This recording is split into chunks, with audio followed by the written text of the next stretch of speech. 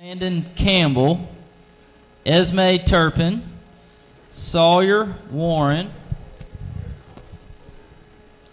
Margaret Hodges, Carlton Cannon, Jaquavius Carr, Adina Green,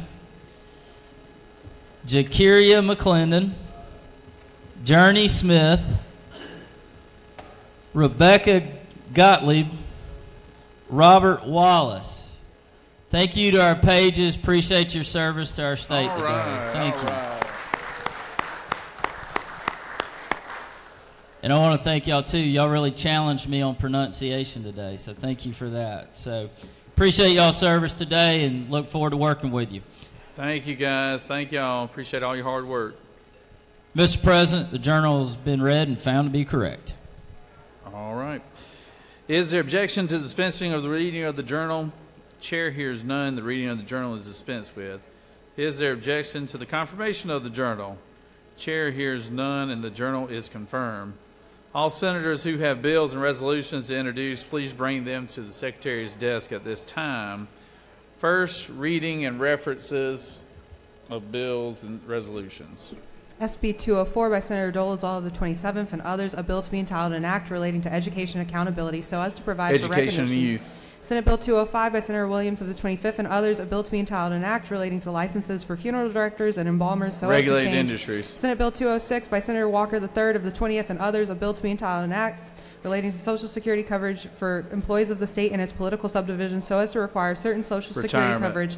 Senate Bill 207 by Senator Esteves of the 6th and others, a bill to be entitled an act relating to conditions of employment for professionals in elementary and secondary education so as to revise Education and youth.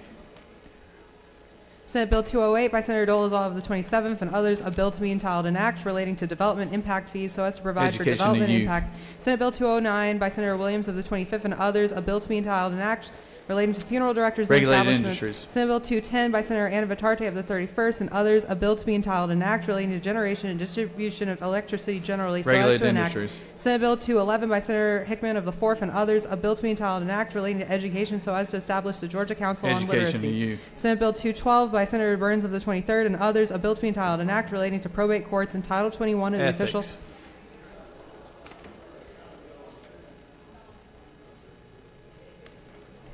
Senate Bill 213 by Senator Burns of the 23rd and others, a bill to be entitled an act relating to zoning procedures so as to prohibit local governments from preventing the State local government, general. Senate Bill 214 by Senator Still of the 48th and others, a bill to be entitled an act relating to alcoholic beverages so as to change the number of retail Regulated dealers. industries. Senate Bill 215 by Senator Brass of the 28th and others, a bill to be entitled an act relating to inspection of public records so as to protect Government from oversight. Senate Bill 216 by Senator Brass of the 28th and others, a bill to be entitled an act relating to children and youth services so as to authorize respite care for. Children and family. That completes the order, Mr. President. First reading of House bills and resolutions. House Bill 81 by Representative Corbett of the 174th and others, a bill to be entitled an act relating to low wealth capital outlay grants. Education and youth. House Bill 143 by Representative Mathis of the 149th and others, a bill to be entitled an act relating to medical assistance generally so as to require the Department of Community Health to Health and include Human Services. House Bill 156 by Representative Hawkins of the 27th and others, a bill to be entitled an act to amend an act providing for districts for the election of the Board of Education State of Hall and local County. government. House Bill 193 by Representative Anderson of the 10th and others, a bill to be entitled an act relating to public works, contracting, and bidding requirements so as to Government increase. oversight. House Bill 1, House Bill 215 by Representative Power of the 30 33rd and others, a bill to be entitled an act relating to nurses so as to provide for licensure of advanced practice registered nurses, to revise definitions, to provide for licensure Health and Human requirements. Services. House Bill 265 by Representative Carter of the 93rd and others, a bill to be entitled an act to amend an act providing for a supplement to compensation State and salary. local government. House Bill 270 by Representative Schofield of the 63rd and others, a bill to be entitled an act to provide a homestead exemption from City of College Park ad valorem taxes for municipal purposes for the full State and amount. local government. House Bill 272 by Representative Huddleston of the 72nd and others, a bill to be entitled an act to authorize the municipal court of the City of Carlton to charge a technology fee, to specify the uses to which such technology fees may be applied, to repeal conflicting laws and for other purposes.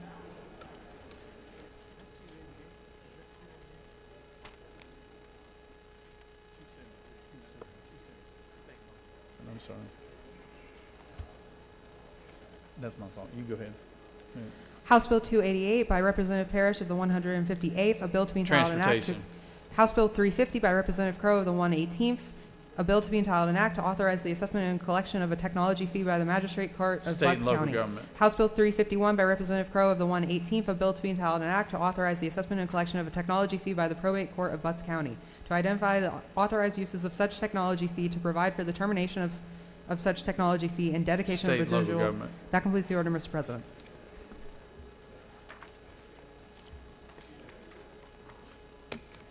Secretary read report of standing committees.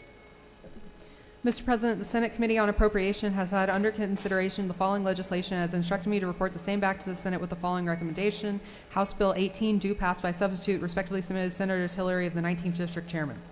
The Senate Committee on Banking and Financial Institutions has had under consideration the following legislation has instructed me to report the same back to the Senate with the following recommendation. Senate Resolution 82, due passed by substitute, respectively submitted Senator Summers of the 13th District Chairman. The Senate Committee on Children and Families has had under consideration the following legislation has instructed me to report the same back to the Senate with the following recommendation. Senate Bill 131 due pass by substitute. Senate Bill 134 due pass. Senate Bill 135 due pass by substitute. Respectfully submitted Senator Kirkpatrick of the 32nd District Chairman. The Senate Committee on Economic Development and Tourism has had under consideration the following legislation has instructed me to report the same back to the Senate with the following recommendation. Senate Bill 136 due pass. Senate Bill 183 due pass by substitute. Respectfully submitted Senator Beach of the 21st District Chairman. The Senate Committee on Economic Development and Tourism has had under consideration the following legislation has in- re- instructed me to report the same back to the Senate with the following recommendation. Senate Bill 57, due pass by substitute. Respectfully submitted Senator Beach of the 21st District Chairman. The Senate Committee on Regulated Industries and Utilities has had under consideration the following legislation and has instructed me to report the same back to the Senate with the following recommendation. Senate Bill 95, due pass by committee substitute. Senate Bill 149, due pass by committee substitute. Respectfully submitted Senator Cowsert of the 46th District Chairman. The Senate Committee on Retirement has had under consideration the following legislation and has instructed me to report the same back to the Senate with the following recommendation. Senate Bill 128 do pass. Senate Bill 117 do pass. Respectfully submitted Senator Williams of the 25th District Chairman. The Senate Committee on State and Local Government Operations has had under consideration the following legislation and has instructed me to report the same back to the Senate with the following recommendation. House Bill 117 do pass. House Bill 118 do pass. Respectfully submitted Senator Ginn of the 47th District Chairman. Mr. President, that completes the order. Secretary will read bills and resolutions for the second time. Senate Bill 35 by Senator Merritt of the 9th and others, special license plates, specialty license plate honoring Kappa Alpha Psi Fraternity Incorporated established. Senate Bill 46 by Senator Hufstetler of the 52nd and others, control of sexually transmitted disease. Physicians and healthcare providers to test all pregnant women for HIV and syphilis at the first prenatal visit at 28 to 32 weeks gestation and at delivery require. Senate Bill 63 by Senator Robertson of the 29th and others, bonds and recogni- recognizance setting of bonds and schedules of bails provide. Senate Bill 91 by Senator Dixon of the 45th and others, workers' compensation, the time period for the dissolution of the subsequent injury trust fund extend. Senate Bill 106 by Senator Walker the 3rd of the 20th and others, Healthy Mothers, Healthy Babies Act enact. Senate Bill 109 by Senator Echols of the 49th and others, Department of Community Health, include continuous glucose, glucose monitors as a pharmacy benefit for all Medicaid recipients require. Senate Bill 110 by Senator Walker the 3rd of the 20th and others, Back the Blue Act enact. Senate Bill 111 by Senator Hufstetler of the 52nd and others, Anesthesiologist Assistant Act. Anes- Anesthesiologist, st- anesthesiologist assistant to be appointed in an advisory ca- capacity to the Georgia Composite Medical Board provide. Senate Bill 120 by Senator Echols of the 49th and others, motor carriers, the reference date to federal regulations regarding the safe operation of motor, motor carriers and commercial motor vehicles update. Senate Bill 121 by Senator Anderson of the 24th and others, counties and municipal corporations, local governments from denying the drilling, servicing, or repair of new or existing water wells on single-family residential and farm pro- properties prohibit. Senate Bill 129 by Senator Williams of the 25th and others, primaries and elections time off for employees to advance vote provide. Senate Bill 138 by Senator Williams of the 25th and others, Office of Sheriff procedure for filling vacancies revised. Senate Bill 159 by Senator Robertson of the 29th and others, correctional institutions of state and counties, wireless communications and standalone electronic devices behind guard lines prohibit. House Bill 52 by Representative Thomas of the 21st and others, Transportation Department of, amend notice provisions relative to meetings for elections of board members provisions. Mr. President, that completes the order.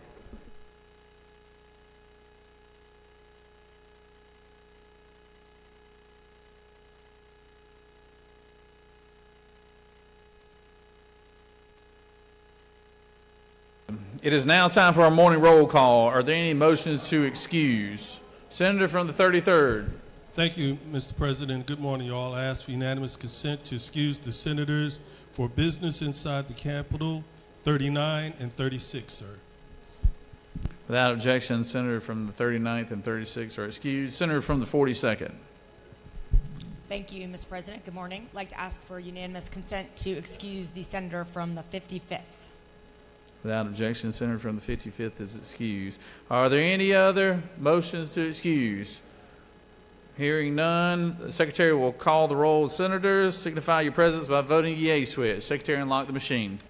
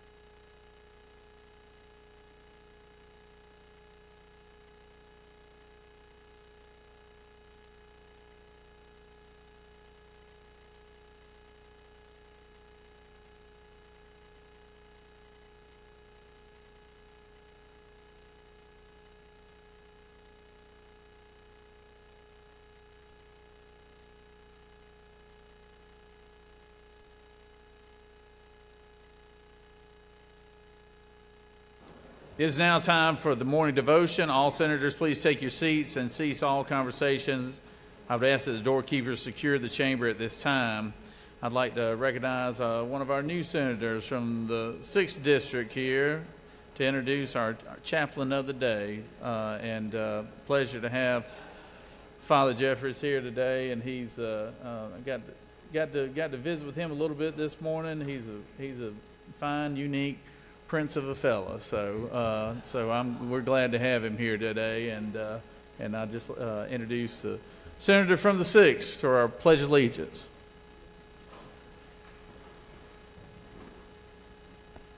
Start with the pledge. Pledge allegiance to the flag of the United States of America and to the republic for which it stands, one nation, under God, indivisible, with liberty and justice for all. And now the Georgia flag. Pledge allegiance to the flag, for which indivisible, with justice, honor, and courage. Good morning, everyone. It is my honor to uh, introduce the chaplain of the day, who is uh, my chaplain of my home church, Our Lady of Lourdes, right here in Atlanta. Uh, it's the church where I was married to my wife, Ariel. Uh, it's also the name of the church, uh, my childhood church in Columbus, Georgia. Senator the 15th would appreciate that. Uh, Our Lady of Lourdes in South Columbus. So I continued from Our Lady of Lourdes in Columbus to Our Lady of Lourdes uh, here in Atlanta, Georgia. Father Jeffrey Ott is a friar of the Order of, the, of Preachers, also known as the Dominicans, serving as pastor of Our Lady of Lourdes Catholic Church, the first African American Catholic church in Atlanta. Uh, he is also board member of the Interfaith Community Initiatives, a nonprofit which unites people to create lasting and transformational bonds to build a more humane and equitable society. And he also is on the board of Mercy Care, which serves, many of you know, uh, the low income and poor with health care. Father Jeffrey uh, is on the leadership team of the National Black Catholic Clergy Caucus, as well as the Association of the United States Catholic uh, Priests. He uh, received his Master's of Arts in Theology and Master of Divinity from Aquinas Institute of Theology. And before becoming pastor of Lourdes, Father uh, Jeffrey, who I affectionately call him Father Jeffrey, uh, served his alma mater, Xavier University of Louisiana, as chaplain uh, as university chaplain. Now, as all of you know, uh, there's a connection there because today is Fat Tuesday. Uh, so let's welcome uh, Father Jeffrey Ott. Thank you so much, Senator Esteves. It is a privilege to be able to call you that and uh, to uh, be with all of you today. Uh, I bring you happy Mardi Gras greetings from my family and friends there in New Orleans. And I want to begin this uh, short time with you this morning with um, a brief moment of silence as we gather ourselves and center ourselves and just do a few uh, uh, deep breaths as we begin.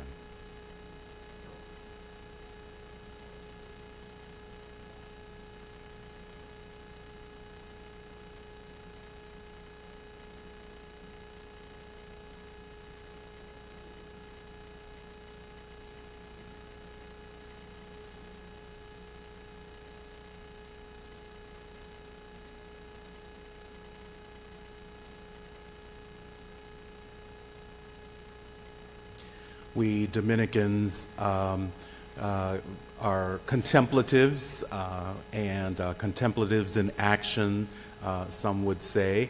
And, uh, and I am very fortunate to be part of that grand tradition, now 800 plus years old.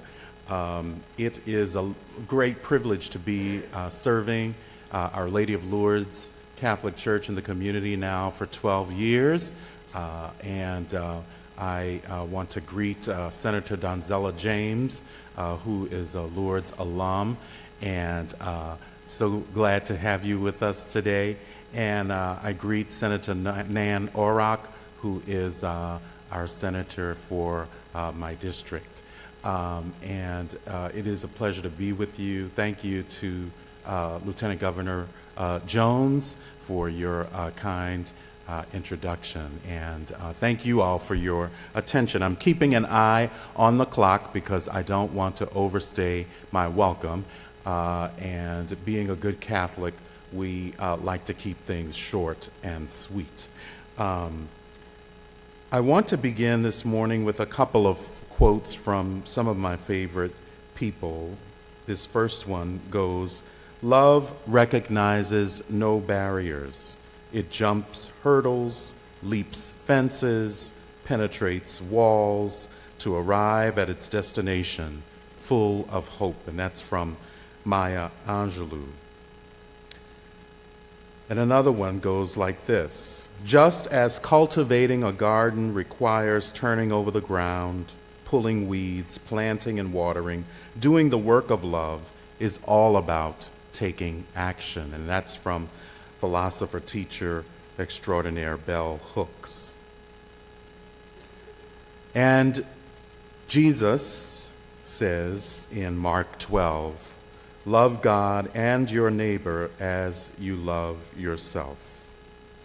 As Senator Esteves has said, we are celebrating Mardi Gras, and we celebrate this season of uh, uh, frolic and fun uh, it's coming to a close today, um, and as you know, beginnings always mean that there's uh, an ending, and an ending means that there's a beginning. So just as we uh, uh begin Mardi Gras, we're coming to the end of that season today, and we'll be beginning the season of Lent with Ash Wednesday tomorrow. Tomorrow you'll see Catholics walking around with uh, black marks on their foreheads, uh, ashes, to remind them of their humanity, to remind all of us of our humanity, to call us back to ourselves in a sense.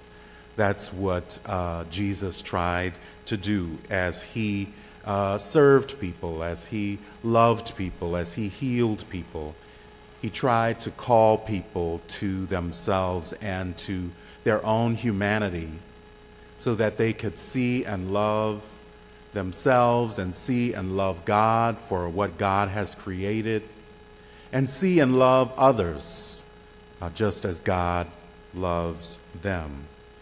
we're celebrating Black History Month, uh, a great uh, season of recognizing the history of our ancestors and our forebears, women and men who knew their humanity, who walked with dignity and respect for themselves and for their people and for their culture and for their history, and were able, by their service, by their giving of themselves, to uh, achieve great things.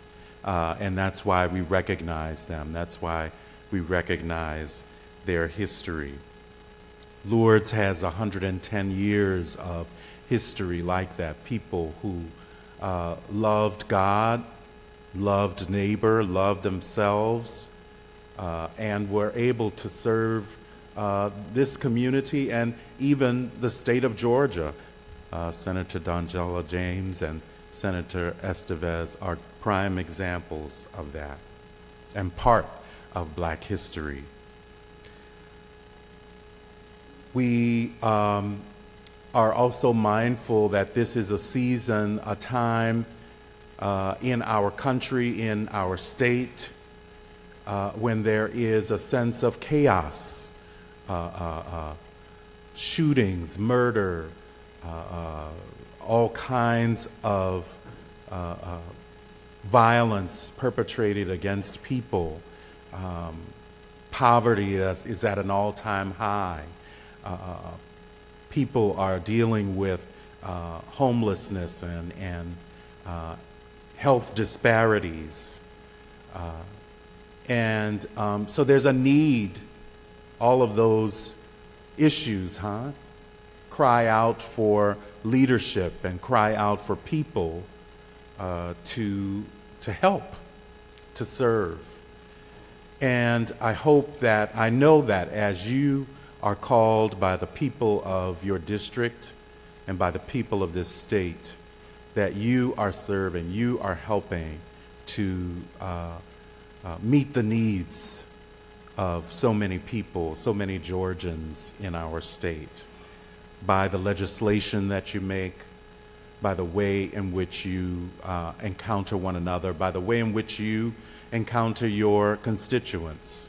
You are helping to build up this great vision of love that Jesus calls us into. And as my time comes to an end, um, I want to encourage you uh, as we uh, celebrate today to offer an act of kindness uh, to one another uh, or to another, to someone today. And um, as we close with a brief prayer, uh, I want to uh, remember Jimmy Carter and the Carter family at this time. Um, and so join me, if you would, in a brief prayer. Gracious and loving Creator, we call forth in this day the gift of thanksgiving for all that you have blessed each and every one of us with. We ask you to continue to guide and direct the hearts and minds of those who love you and and the workings and dealings of this Senate body. Help it to create uh, legislation which lifts up all of Georgia and each and every citizen to great dignity and humanity. Gracious God, we ask you to bless each and every one here today, that we would uh, know you and love you and love our neighbors as we love ourselves. And we uh, ask this and all other blessings in Jesus' name. And we say, Amen. Thank you.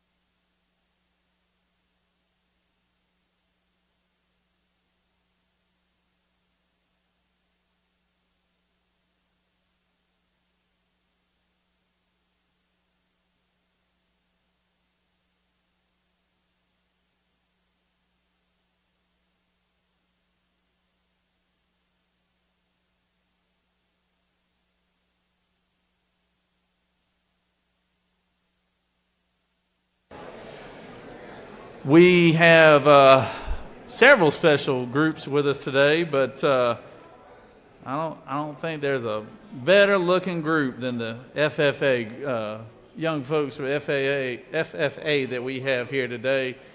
I know the senator from the 24th thought I was talking about him, but I I can assure him I'm not. But the uh, but they a uh, good group. I was I was able to speak with them this morning, and obviously our future farmers of America. It's it's a group of young people that that uh, are hardworking, dedicated, and uh, and dedicated to the agricultural business, which we know is so important, not to not just to this state, but for all across the country and the world and beyond. So, it is great to have them here with us today, and uh, I've got our senator from the 24th, and the senator from the 8th, and the senator from the 20th, as well as the senator from the 12th.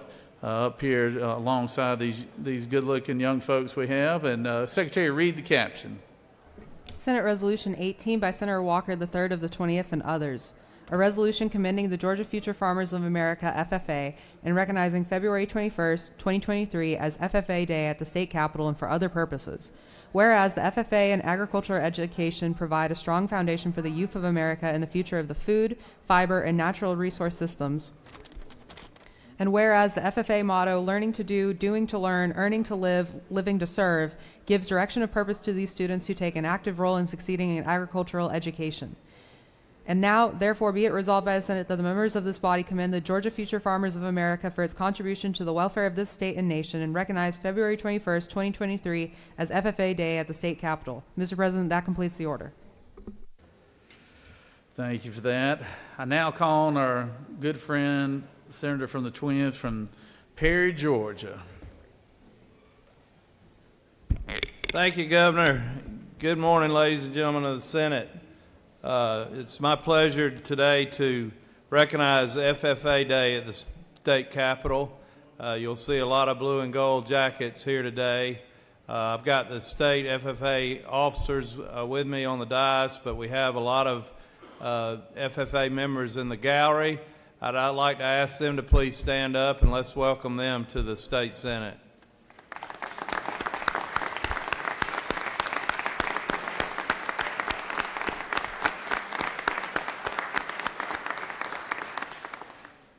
Founded in 1928, the former Future Farm Farmers of America brought together students, teachers, and agribusiness to solidify support for agricultural education. The name of the organization was changed to the National FFA Organization in 1988 to reflect the growing diversity of agriculture.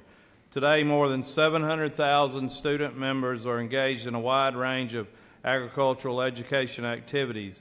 F, the FFA operates on local, state, and national le levels. Student members belong to chapters organized at the local school level. Agricultural education instructors serve as chapter advisors.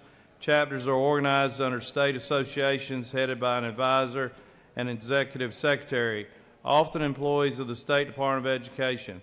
States conduct programs and host annual conventions. The Georgia FFA Association was founded in 1929. It is the third largest association in the nation with more than 70,000 FFA members. We're the third largest, but we're the best in the country. FFA organization remains committed to the individual student, providing a path to achievement and premier leadership, personal growth, and career success through agricultural education. Members live the motto learning to do, doing to learn, earning to live, and living to serve. FFA members rise to the challenge of service, embracing members of all walks of life united through FFA. If you ever are uh, worried about the future of our country and our state, uh, and maybe a little down, you need to go to a local FFA meeting, and that will boost your spirits because these are some of the sharpest young people you want to meet. Uh, they are doing hands on activity to learn about science, technology, engineering, and math. Uh, and they also are learning leadership skills. Uh, here today, I have with me Gracie Bonato. She's going to speak to us. She's the state FFA vice president. She hails from Northside FFA in Warner Robins in Houston County, my home county. We've also got Haley Montgomery. State FFA Vice President from West Laurens FFA in Dublin, Laurens County, another county in my district. Uh, Jack Lingenfelter, State FFA Vice President from Coffee County in Du- Douglas, Coffee County FFA in Douglas, and Brent Miller, the State FFA Secretary from Decatur County, representing Bainbridge FFA. Gracie, I'll turn the podium over to you. Well, I would just like to say thank you for recognizing Georgia FFA Day at the Capitol. We're an organization that develops students in premier leadership, personal growth, and career success, which means we want students to be workforce ready and gain those skills such as leadership and teamwork. Thanks to you, thanks to you, you we get to have an impact on more than 77,000 Georgia FFA members across our state. Thank you for keeping Georgia's number one industry on your mind.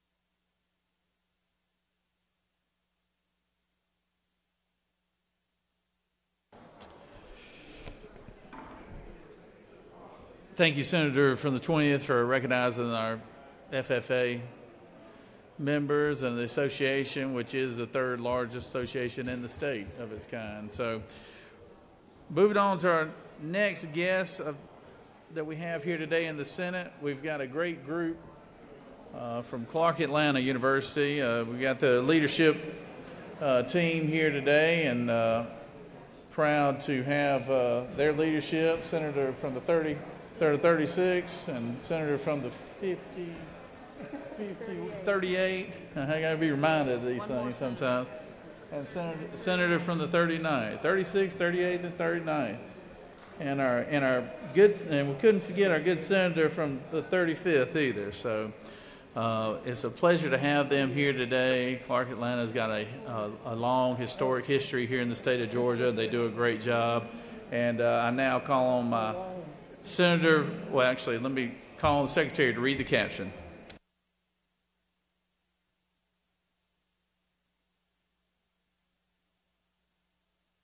Senate Resolution 166 by Senators Orrock of the 36th, Esteves of the 6th, and James of the 35th.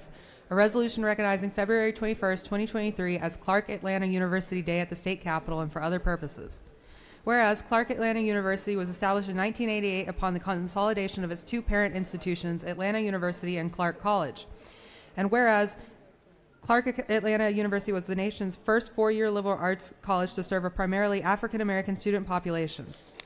Now, therefore, be it resolved by the Senate that the members of this body recognize and commend Clark Atlanta University, Dr. George T. French Jr., President of Clark Atlanta University, and its students, faculty, staff, alumni, and friends for their many years of dedicated service to the higher education of Georgia citizens and for attracting young scholars from across the nation to our great state. Mr. President, that completes the order. Is there objection to the adoption of the resolution? Chair hearing none, the resolution is adopted. I now call the, the young lady from the senator from the 36 here to speak to the measure. Thank you so much, Mr. President. Uh, colleagues, I'm so happy to uh, bring to you today uh, the leadership of Clark Atlanta University. Today is Clark Atlanta University Day at the state capitol, as you heard in our privilege resolution language. Uh, the Clark Atlanta University was the nation's very first four year liberal arts college to serve a primarily African American student population and offers now 40 academic programs to almost 4,000 students annually. Uh, the, the role of this uh, university cannot be understated. Uh, it is a part of the phalanx of historically black uh, colleges and institutions that uh, Georgia uh, plays host to. Uh, it puts us on the map in a very special way nationally, and we, thanks to the leadership of my, my colleague from the 39th, we are moving ahead as a state to fully embrace and expand the role of the historic black colleges and institutions uh, in our state. And uh, we'll stay tuned for further uh, information on that as we move through the session. The president of uh, Clark Atlanta University is, of course, with us today, along with his staff, uh, Dr. George T. French Jr., and he has an incredible uh, long list of contributions uh, in the field of higher education across the southern states. He is also recognized locally, statewide, and nationally as having done an incredible job since he's been there since 2019, uh, leading the institution and uh, receiving the largest uh, infusion of, a, philanthropy uh, in the history of the college, a historic uh, contribution. Dr. French uh, is, is with us today and comes from uh, 14 years at Miles University, uh, holds a law degree and uh, a higher ed degree with a PhD.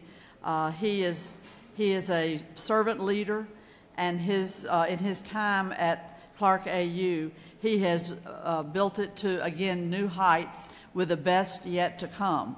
Uh, I'm so pleased to have him with us today representing uh, Clark Atlanta University, along with my colleagues uh, here. My colleague from the, from the 38th, uh, who is a, a, a graduate of Clark Atlanta, and two degrees, two degrees and we're so happy that, that, that, that she could, could be with us today. Let me uh, uh, recognize and bring forward Dr. French to uh, give you some words from the perspective of the challenges in higher ed and the incredible strides that uh, Clark Atlanta University is making under his leadership. And those other four presidents that came before him.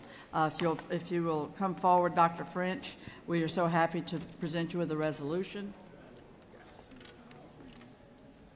Thank you so much, Senator Orrock, and thank you also for assisting to represent Senator Hor- Hor- Horacena Tate in developing the and authoring the Clark Atlanta University resolution. So again, thank you to Senator Tate and Senator Orrock for this resolution. Most certainly to our Lieutenant Governor Burt Jones, to the President Pro Tem John Kennedy, to our good friend and minority leader Gloria B. Tate, of course, to those on the dais with us, to include Senator Anderson and Senator Halpern, who was the chair of the HBCU Study Committee for the Senate. Most certainly to all here in attendance, including my lovely wife, Dr. Bacon French, who has joined us today, and to all of our representatives who are here representing the great state of Georgia. We also acknowledge the vice presidents and faculty members who have taken the time to come to share in this signal honor today. We say thank you. We are going to be very brief because I point to five points of light when I consider Clark Atlanta University. And Mr. Lieutenant Governor, I assure you, because of Clark Atlanta University, the entire nation has Georgia on their minds. They have Georgia on their minds because we are the largest private HBCU within the state of Georgia, offering the bachelor's, master's, and doctor of philosophy degrees. Georgia is on everyone's minds because we are the only HBCU in the nation to provide the PhD in cyber physical systems. Georgia is on everyone's minds because we are the largest academic prostate cancer research center in the nation. Finally, Georgia is on everyone's minds because recently, Apple Company and Southern Company made the historic announcement that the $100 million Propel Innovation Center will be on the campus of Clark Atlanta University in the city of Atlanta within the great state of Georgia, and Georgia is on everyone's mind. Thank you, senators, for this opportunity, and thank you, Senator C, as well.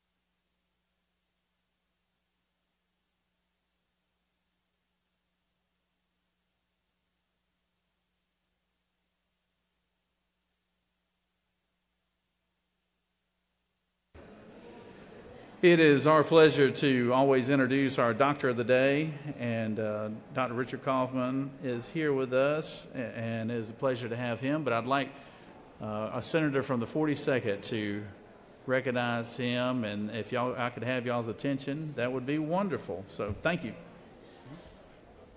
Thank you, Mr. President. It's my honor to um, introduce and thank our Doctor of the Day, Dr. Richard Kaufman. Dr. Kaufman was, was reared on an Amish farm in Montezuma, Georgia. Some of you may know Yoder's Restaurant or the um, excellent um, woodworking and building companies that operate out of that area. That is the area in which Dr. Kaufman was uh, born and raised. He was educated in the Amish Mennonite tradition. He was an Amish dairy farmer until the age of 26. At that, until that point, his education was strictly parochial through the third grade, with no further formal education until 1970. And I was saying to him that, you know, as, as we see more and more problems cropping up with social media, I, for one, admire the Amish more and more and more. But I am glad that um, Dr. Kaufman went on and got his uh, medical degree at the um, Medical College of Georgia in 1976. He is an internal medicine physician in Atlanta with North Atlanta Primary Care. He is also um, has a, a list of accomplishments and service work too long to mention thoroughly, but I do want to mention a couple things. First of all, he has done mission work across the world, including uh, some specific efforts around earthquake relief in Haiti. He has also done extensive work within prevention of HIV with the American Academy of HIV Medicine and the AIDS Research Consortium of Atlanta, where he's a researcher. He has uh, mentored South African physicians on the most current treatment of HIV and AIDS, and he has been a guest lecturer on HIV resistance at the University of Pretoria School of Medicine Grand Rounds in Pretoria, South Africa. He also has conducted a two day conference on HIV AIDS in Vietnam, where he was the featured speaker. And I could go on and on about that line of work. But um, suffice it to say, this is an incredibly accomplished doctor with um, and also a fascinating upbringing. And um, please join me in welcoming and thanking Dr. Kaufman this morning. Thank you, Senator.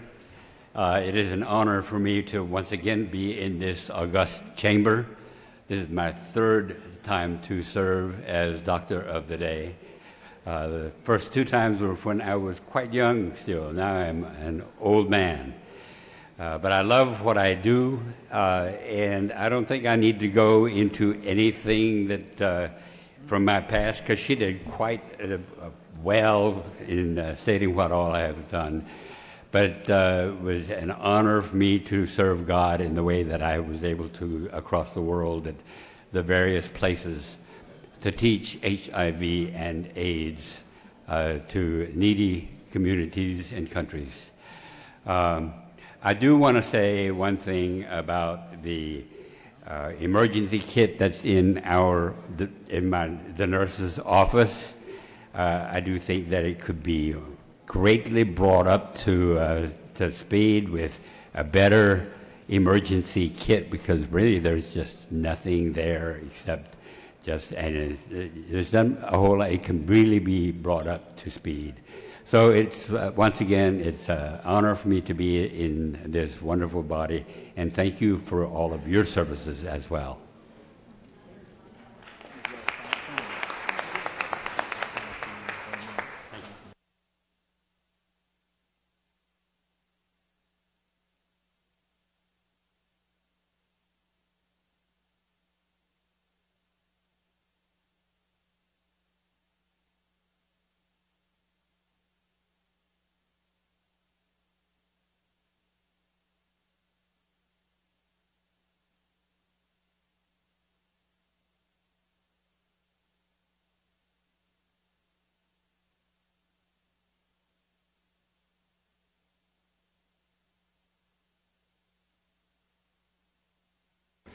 Are there any unanimous consents? Hearing none, does any senator wish to rise on a point of personal privilege? I recognize the senator from the 12th.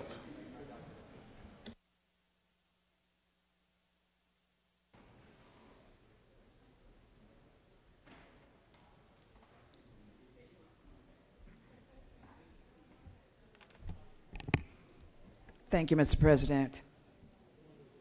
Good morning, colleagues. And this morning I rise to pay tribute, special tribute, to a great Georgian, the only U.S. president ever elected from the great state of Georgia, President Jimmy Carter, who is my constituent. We are deeply saddened by the news of President Carter's hospice announcement. He is a role model, a leader, a trailblazer, and an unmistakable gentleman with loads of strength. His first calls for public service began by serving on the Plains, Georgia School Board in 1961, the Georgia State Senate from 1963 to 1967, and then as the 76th governor of Georgia from 1971 to 1975. During his time in the state senate, he was openly pro integration and worked to change laws to make it easier for everyone to vote, for all people, and especially African Americans. As governor, he continued to promote civil rights by increasing opportunities for us and all African Americans to work in state agencies and adding portraits of civil rights leaders such as Martin Luther King Jr. During his presidency, he promoted human rights through foreign policy, such as reducing foreign aid to countries who did not respect human rights and bringing increased attention to global human rights abuses. Post presidency, he continued promoting these ideas through his dedication to humanitarian aid globally and here in Georgia as well. Everyone in Plains, Georgia knows President Carter as Jimmy, which is a reminder of the type of humble, loving man that he is. And it is an honor to represent Plains, Georgia and the Carter family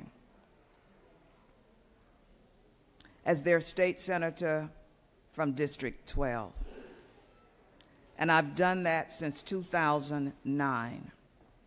I give love and prayers to the Carter family and leave you with this quote from our cherished former President Carter that summarizes his life and his work as it continues. If you have any talents, try to utilize those talents for the benefit of others. Thank you, Mr. President. I yield the well. Thank you, Senator.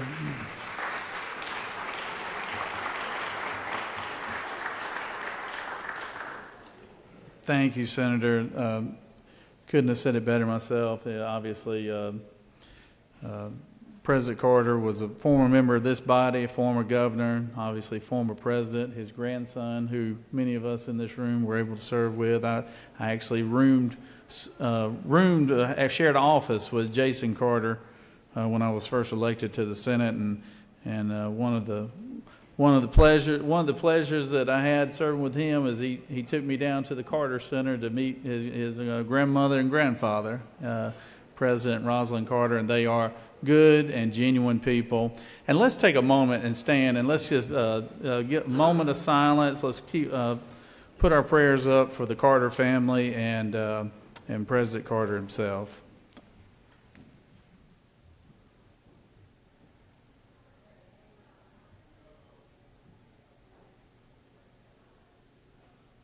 Pray for God's grace and mercy. Amen. Amen. Senator from the 30th.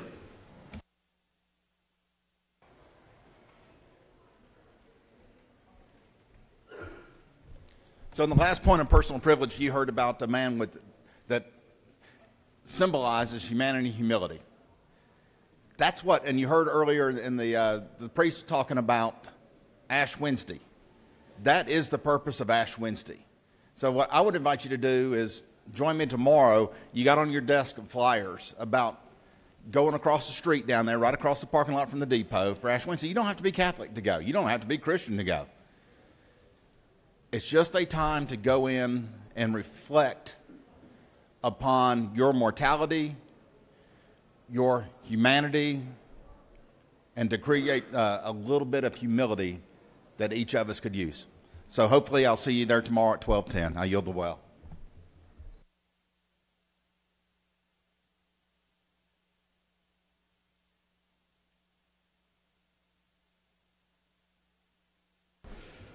Recognize the senator from the 54th.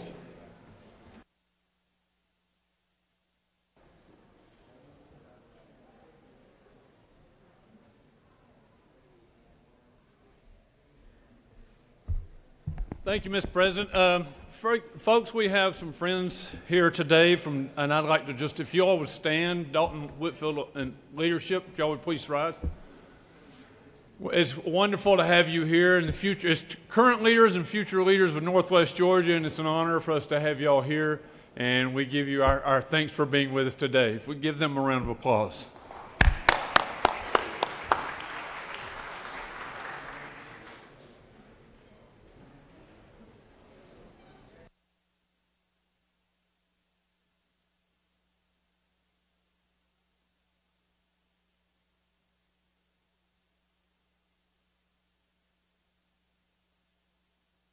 Recognize Senator from the 7th for a point of personal privilege.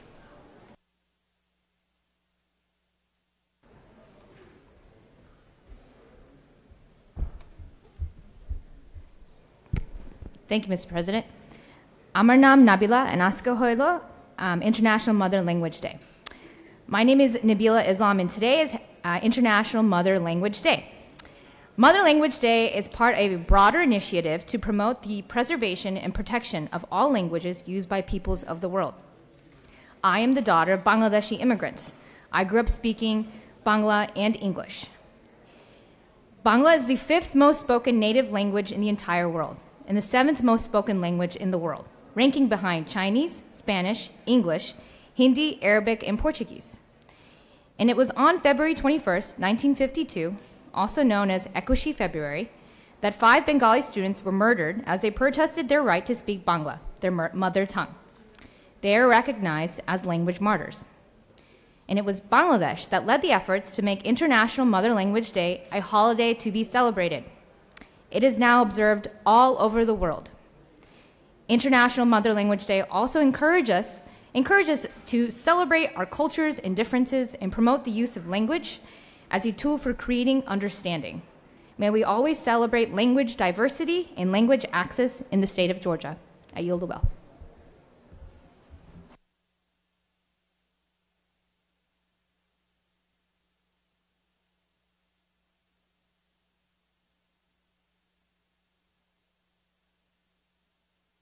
recognize Senator from the 34th for a point of personal privilege.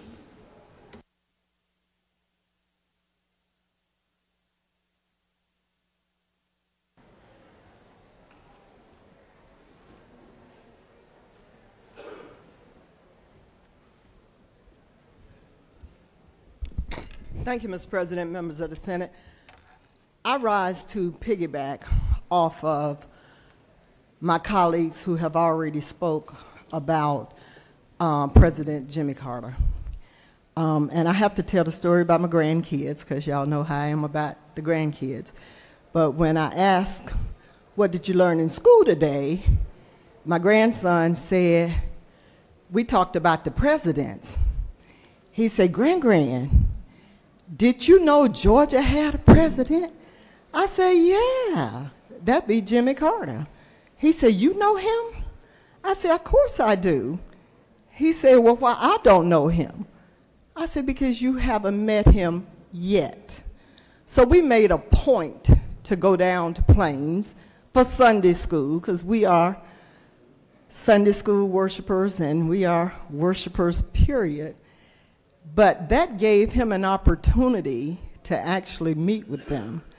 And to the senator from the 12th, when she learned we were coming, she literally met us because that is her district and that's who she is.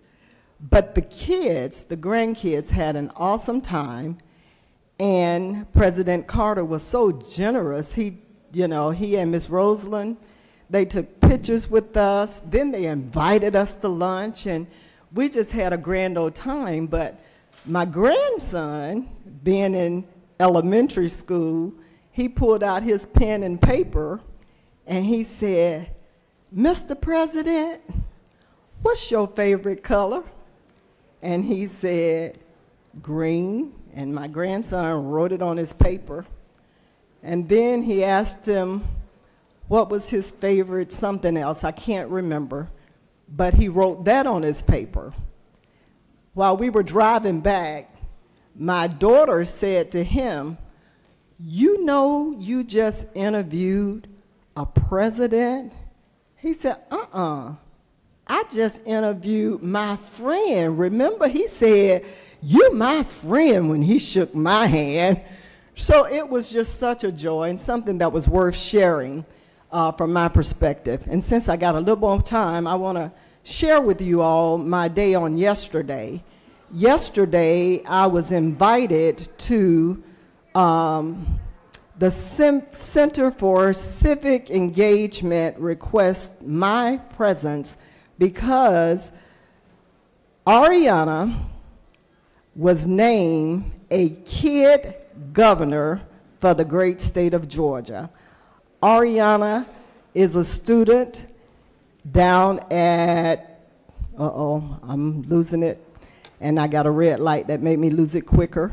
But at any rate, the governor and the lieutenant governor both has these young kids who had to um, qualify statewide, but one was chosen from Clayton County, and Fume, she was adorable. But the future is bright with those kind of leaders. Thank you, Mr. President. I'll yield the well. Thank you, Senator. I appreciate that.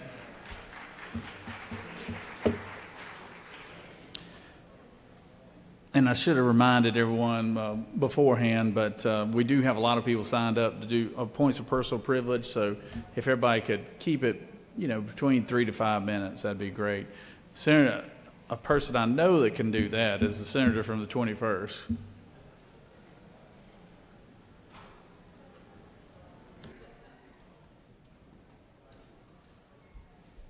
Thank you, Mr. President. Uh, being from New Orleans, I want to wish everybody a happy Mardi Gras, but that's not why I came down here. I came down here to talk about the movie industry and uh, how we are a player in that industry. And I want to thank the Senator, our distinguished Rules Chairman from the 28th, for arranging a tour yesterday. We went down to AMC Studios, and I will tell you the jobs that that studio has created has been great with The Walking Dead and what's happened down there in that area. But what I want to talk about is not just the movie industry creating the jobs, but the halo effect in the city of Senoia. Uh, the senator from the 28th showed us pictures of before and after, and you look at the investment that's been made in that downtown and the jobs it's created that because of the movie industry being down there in The Walking Dead, it's unbelievable. And we have to take that into consideration when we're looking at some of these tax credits. Here's the good news about the movie industry. When we first passed those tax incentives, they came here, they filmed a movie, they went back to California. Now they are putting roots down and building infrastructure. And these jobs are permanent jobs, and they're here for good. And people are moving here, and they love our state.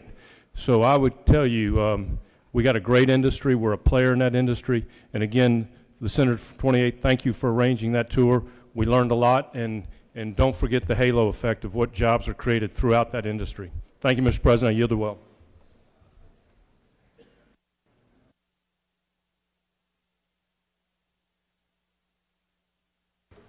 Recognize Senator from the ninth on a point of personal privilege.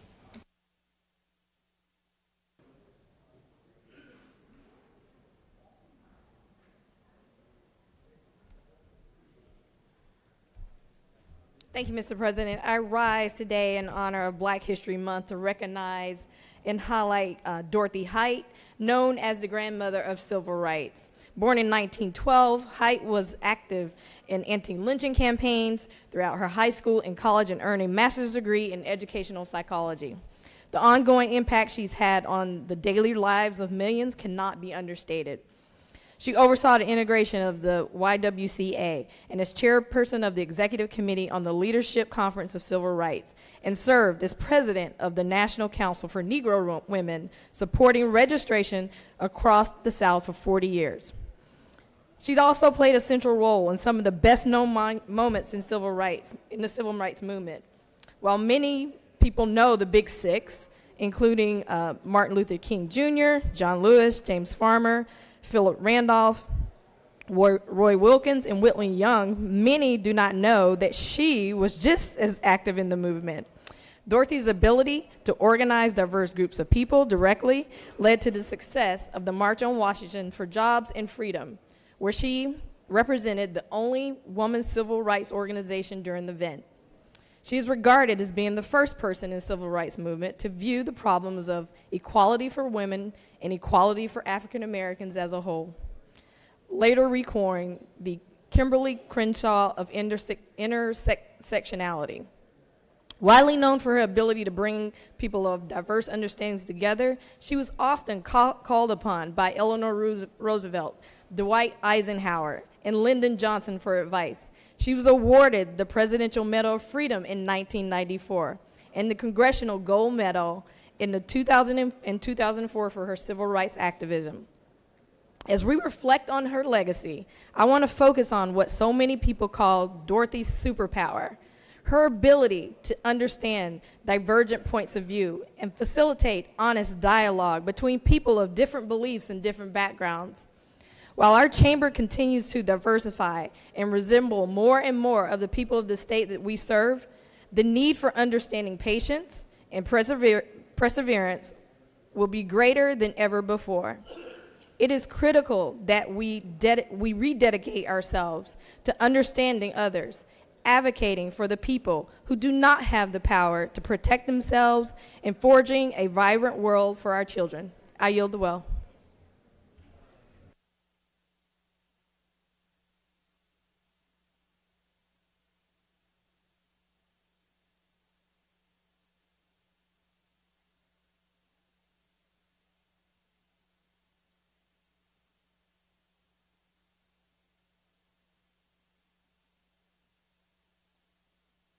Recognize the Senator from the 42nd for appointed personal privilege.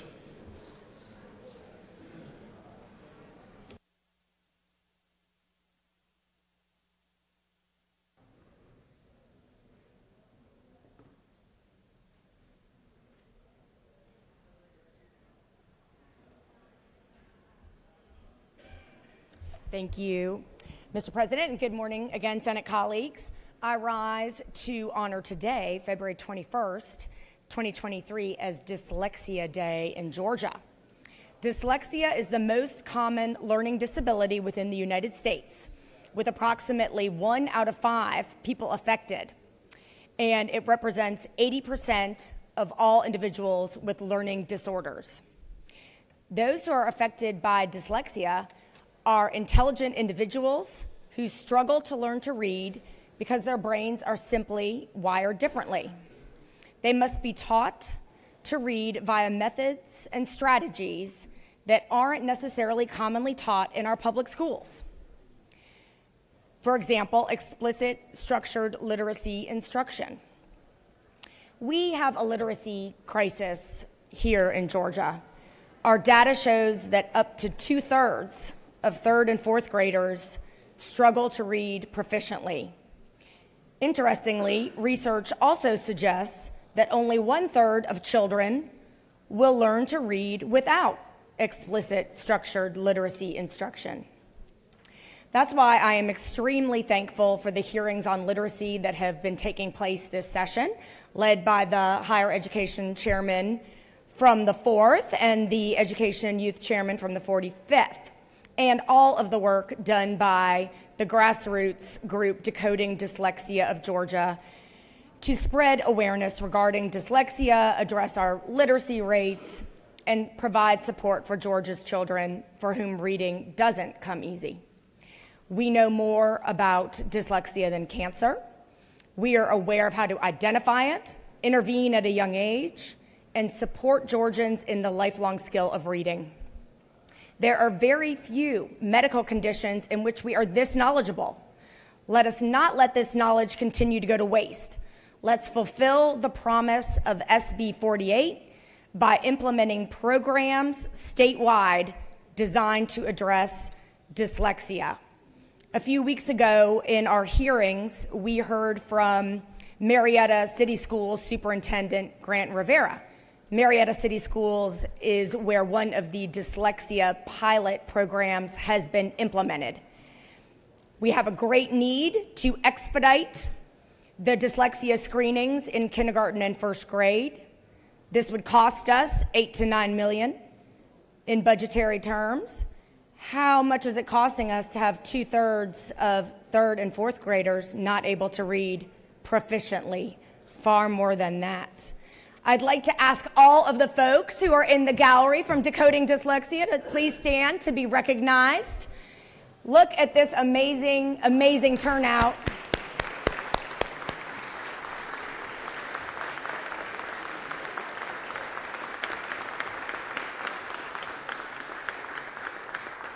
I want to tell you that your work is having an impact here in Georgia. We need your voices to continue to engage throughout this process. The work of decoding dyslexia, I want to specifically mention Legislative Chair Beth Haynes, constituent of mine, and our state lead, Tina Engberg. Their work has been tireless. Thank you, ladies.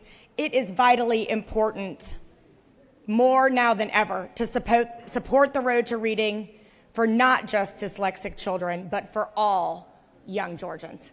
Thank you, Mr. President. I yield the well.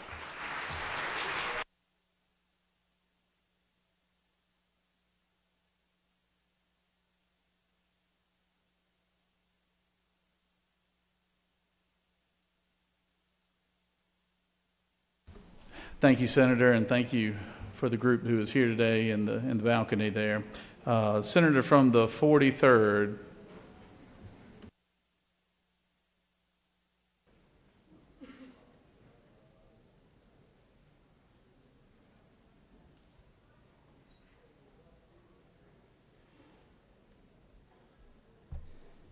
Thank you, Mr. President. I rise to um, recognize leadership Rockdale.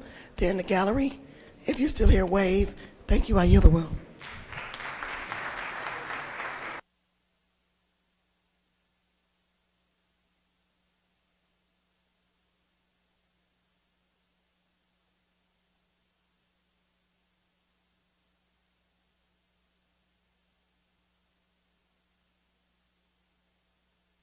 recognize Senator from the 3rd for a point of personal privilege.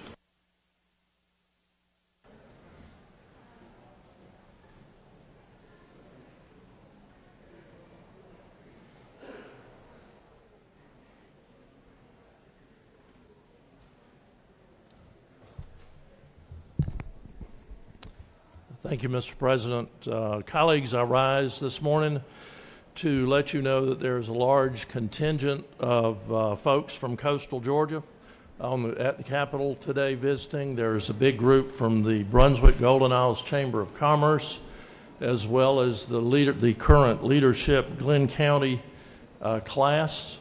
Uh, if you run into the Brunswick Golden Isles Chamber group, you'll know them because they're the folks not wearing socks. And uh, all of these people and I would like to invite you to the depot for a reception from 5:30 to 6:30, followed by a seafood dinner. And I would remind you that uh, the good folks from Glynn County are bringing about 90% of the most recent shrimp crop with them to uh, cook uh, for your consumption. So we hope to see you there. I don't think we have anybody. I don't see anybody in the gallery right now, but I just thought I'd let you know and invite you this afternoon. Uh, with that, um, uh, yield the will. Thank you.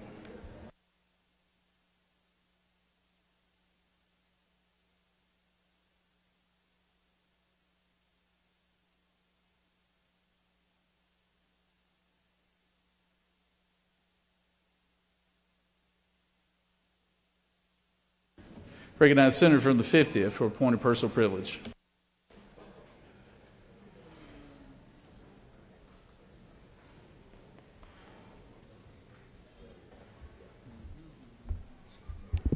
Thank you, Mr. President. I rise today on a more somber note. We got some bad news this weekend. Um, a beloved daycare teacher that's taught in my area for probably 30 years uh, was found, passed away in her home on Sunday. She's taught all three of my daughters. Um, her name was Rita Burton, and um, everybody in, in my county and the surrounding county knew, knew her as Mama Rita. Uh, Mama Rita touched the lives of so many kids, hundreds, if not thousands, and um, there are a lot of kids that will be missing her um, this week and, and moving forward. So, Mr. President, I just ask for a, a moment of silence uh, to, to memorialize her. Senators ask for a moment of silence.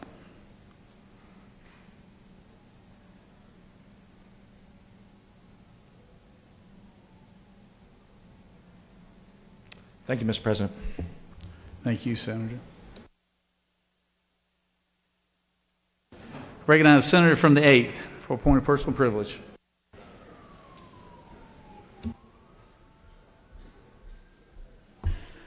Thank you. I, I, too just wanted to say something. As, as a, uh, a guy that grew up on a peanut farm in South Georgia, I felt like I needed to say something uh, about President Carter. And, uh, you know, my dad knew uh, both President Carter and, and Billy. And uh, he, uh, he has spent a, a, a, little bit of time at Billy's service station there in Plains and had some good times with him. And Billy was a character. Now, you know, when, when President Carter got elected, his younger brother Billy, they asked him, they said, Billy, are you going to, uh, are you going to go to the inauguration? And Billy said, I don't know. I, they said, Billy, are you not going to go listen to your brother's inaugural speech? He said, Well, I mean, I've heard him talk before. Um, Billy was a character, but I have carried both my boys uh, to Plains, and we've gone through the, the you know, President Carter's childhood home and, and bought peanut ice cream and Plains and everything else. And um, you know, President Carter's life, and, and, that's one of the reasons I carried my boys there. Both of them are farm boys from South Georgia, just like Jimmy Carter. And Jimmy Carter's life proves that in this country, you can be a farm boy from South Georgia and become the leader of the free world. And I am so thankful to him for his legacy and his life and what that means to kids like my sons and what they can accomplish in this country. Um, so I just want to say my, my thoughts and prayers are with their family, and I appreciate his legacy. And uh, with that, I yield the will, Mr. President. Thank you, Senator. Senator from 39th.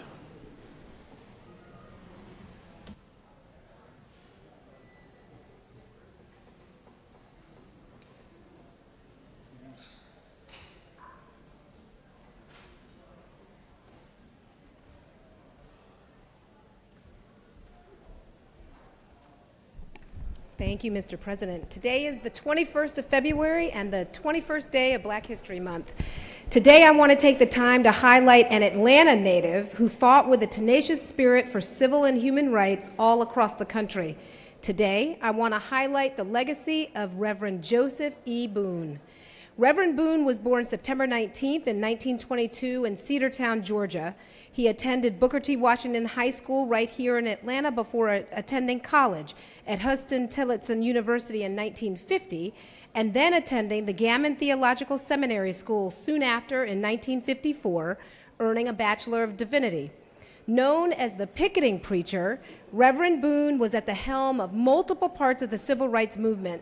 He was a key organizer of the Atlanta student movement, mobilizing Atlanta University Center students to conduct demonstrations, which led to the integration of 70 lunch counters, theaters, and department stores in Atlanta during the early 60s, working alongside leaders like Ralph David Abernathy, John Lewis, and Andrew Young.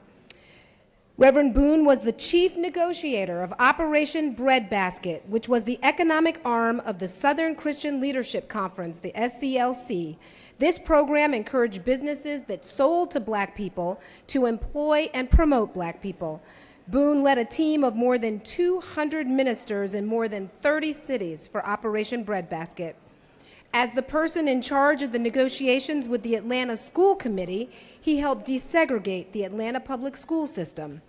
He was chosen to run the initial phase of the Poor People's Campaign at the request of Coretta Scott King, which included arranging accommodations for 10,000 demonstrators traveling through Atlanta to construct Resurrection City on the Capitol Mall in D.C. Reverend Boone was known mostly for his activism on behalf of workers.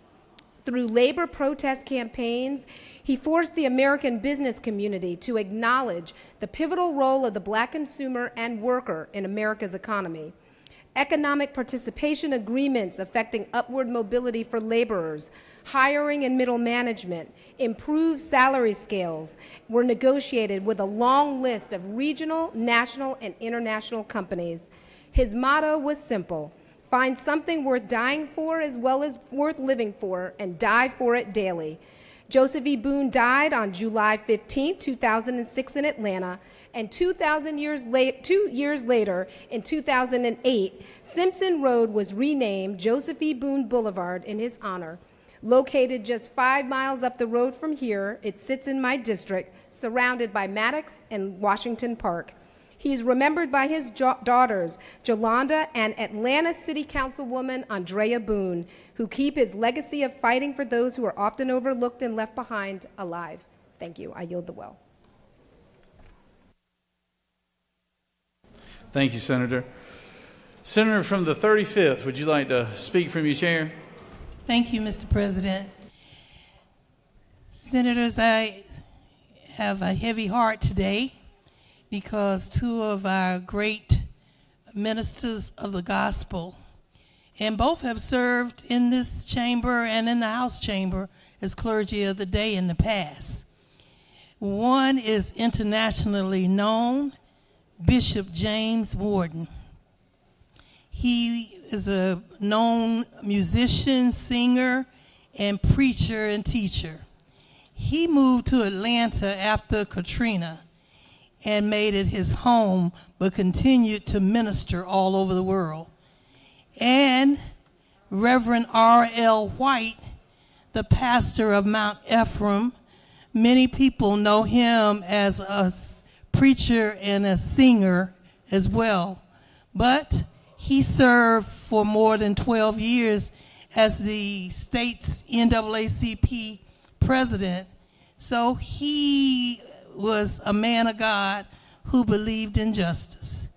So we've lost these two giants suddenly on last week, and they will both be buried on the same day that our good friend Tommy Dortch will have his funeral service, and that is on Saturday. And so at this time, for such great leaders, I know we've stood for a moment of silence for others, but I think that they deserve a moment of silence. So please join me in giving a moment of silence for Bishop James Morton and Reverend R.L. White, and again for Tommy Dortch. Senators requested a moment of silence.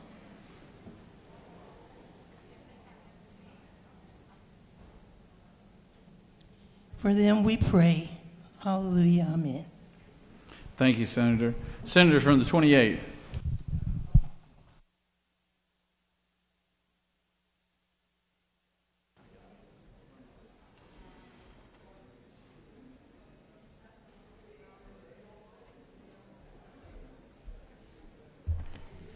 Thank you, Mr. President. I rise today on a couple of occasions. Today is BOMA Day, which is our Building Owners and Managers Association. So they'll be running around the Capitol today, So be sure and tell them Happy BOMA Day. Uh, secondly, I rise. Um, got a very special lady coming up to the Capitol today, and I'll be presenting her this resolution over at the uh, Professional Association of Georgia Educators Day. They're lunching over at the Freight Depot.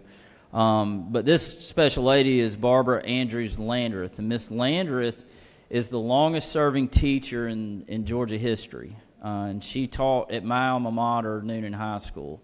Now, I never had Miss Landreth. All my teachers retired early.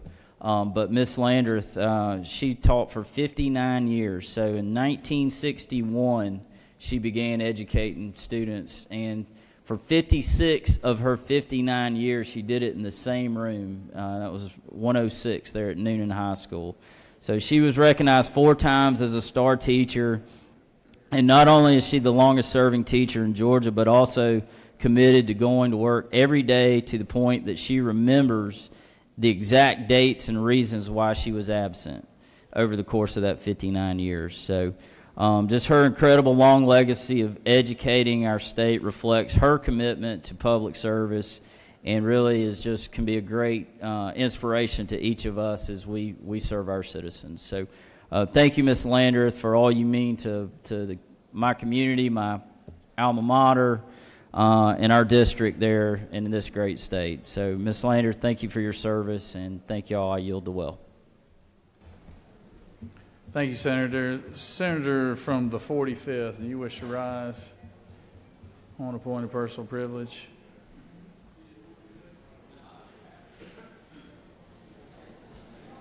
I got you.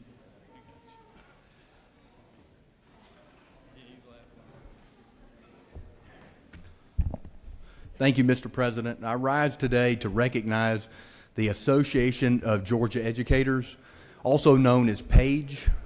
Um, I've got a resolution uh, that I will be dropping today, uh, recognizing February 21st, 2023, uh, Page Day at the state capitol here. Um, also, PAGE is the state's largest organization for professional educators with more than 95,000 members who are teachers, administrators, and support personnel employed in every school system in our state. PAGE was founded in the 1970s with a mission to make Georgia a better place for students to learn and for teachers to teach. I commend the PAGE Foundation. There, uh, we got several members and the president in the back of the chamber. If y'all would rise and uh, please give them a round of applause. Thank you very much.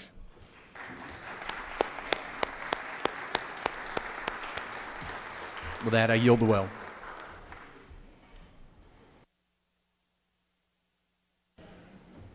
Thank you, Senator. And last but definitely not least, the senator from the 51st. Uh, you, you, um, you are you are the last person. Senator. Parliamentary inquiry. State your inquiry. I'm curious. Did we miss a senator this morning that did not get a chance to go down to the well for points of personal privilege? You know, it was very few, but uh, but point well taken, So let's- Senator. let's move on to business. Okay, sounds good. The long weekend got everybody chatty, I guess.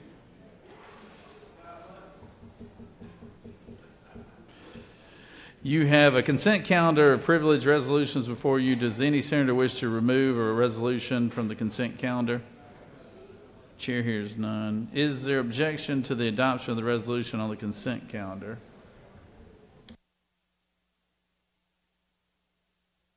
Okay. The chair hears none. The resolution on the consent calendar are adopted.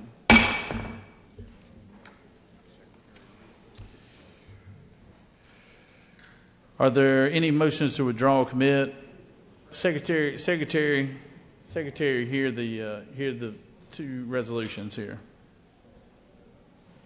Senate Resolution 167 by Senator Butler of the 55th and others, a resolution recognizing January 17th, 2023 as Muhammad Ali Day and for other purposes. That completes the order, Mr. President. Is there objection to the resolution, adoption of the resolution? Chair hears none. The resolution is adopted. And this is SR, Senate Resolution 169 by Senator Moore of the 53rd and others, a resolution recognizing February 2023 as Career and Technical Education Month and February 23, 2023 as Georgia hmm. Career and Technical Student Organizations Day at the state capitol and for other purposes. Mr. President, that completes the order. Is there objection to adoption of the resolution? Chair hears none, and the resolution is adopted. Are there any motions to withdraw or commit? Senator from the 53rd, for what purpose do you rise? Good morning, Mr. President. I'd like to make a motion to withdraw Senate Bill 67 from interstate cooperation and have it committed to the Committee on Judiciary. As for,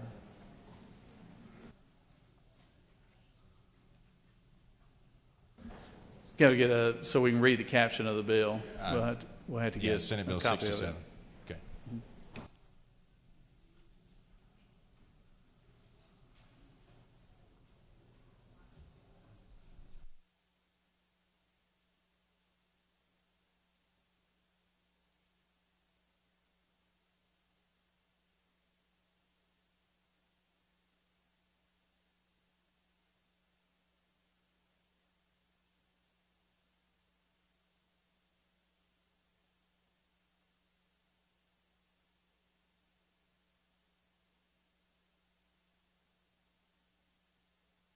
Senate stand at ease while we're waiting on the caption of the Senate bill's request from the Senator from the 53rd.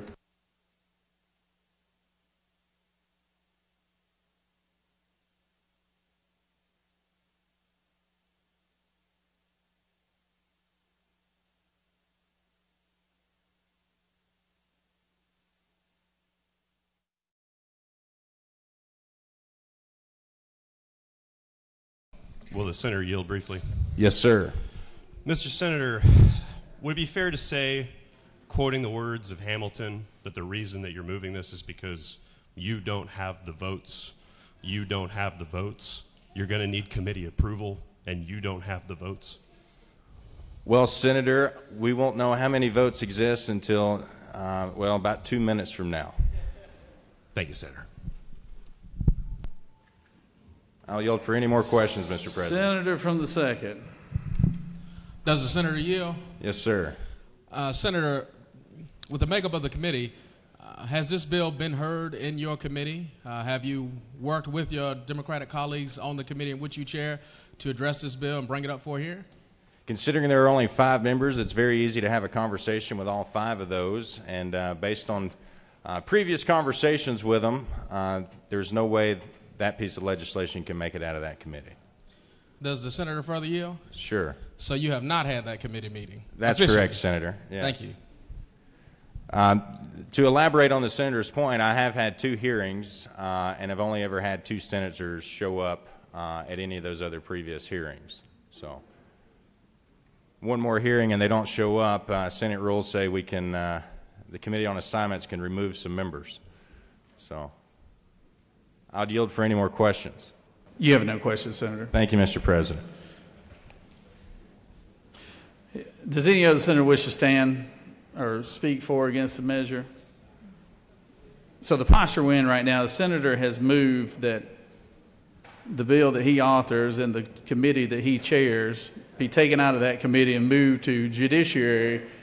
And the judiciary chairman has no objection to it. However, we did have objection from the floor, so uh, uh, let me see uh, yays and nays on this. If, if those who are in favor of the motion will signify by raising their hand, raise your hand.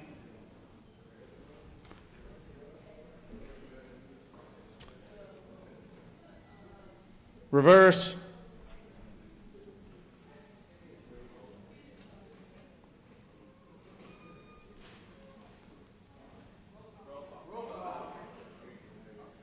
Yeah.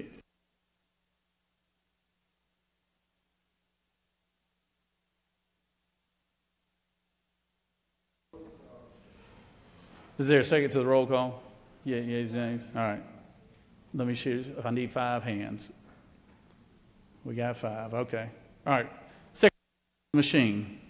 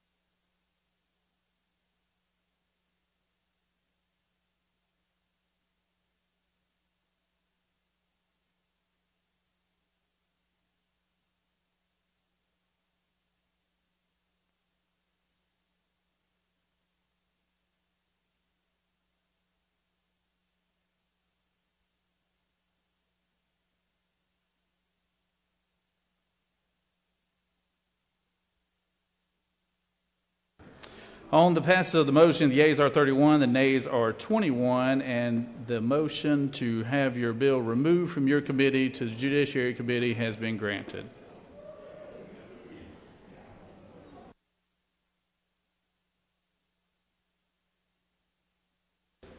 You now, uh, so you have a local consent calendar of bills before you. Mr. Secretary, are there any objections filed to any bill on the local consent calendar? Mr. President, no objections have been filed. Is there objection to agreeing to the report on the Committee on State and Local Government Operations, which is favorable to the passage of the bill on the local consent calendar? The chair hears none. The report of the committee is agreed to. The question is on the passage of the bills of the local consent calendar. All those in favor will vote yea, opposed nay. Secretary will unlock the machine.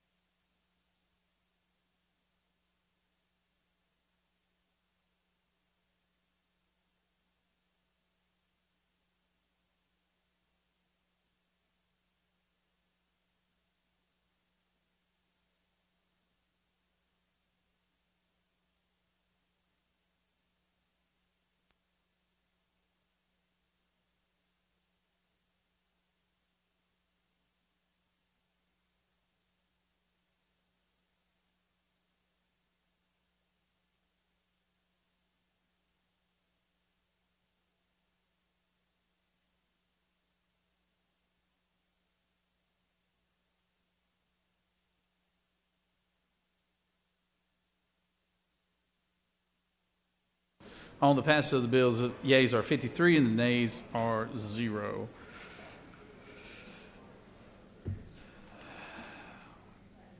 This has the requisite constitutional majority and therefore is passed. All right, moving on to the rules calendar. Moving on to SB 13, Secretary, read the caption.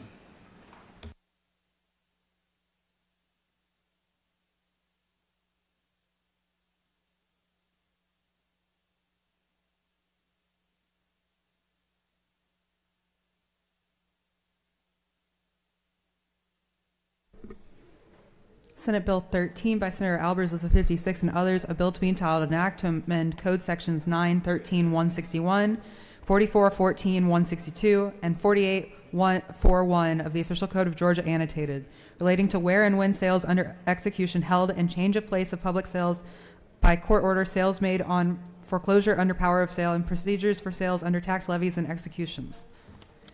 The Senate Committee on Judiciary recommends that this bill do pass by substitute respectfully submitted Senator Strickland of the 17th District Chairman. The Senate Committee on, the Senate Committee on Judiciary offers the following substitute to Senate Bill 13, a bill to be entitled an act to amend Code Section 9, 13, 161, 44, 14, 162, and Chapter 4 of Title 48 of the Official Code of Georgia annotated relating to where and when sales under execution held and change of place of public sales by court order, sales made on foreclosure under power of sale, and tax sales, respectively, so as to authorize online public sales under tax levies. Mr. President, that completes the order.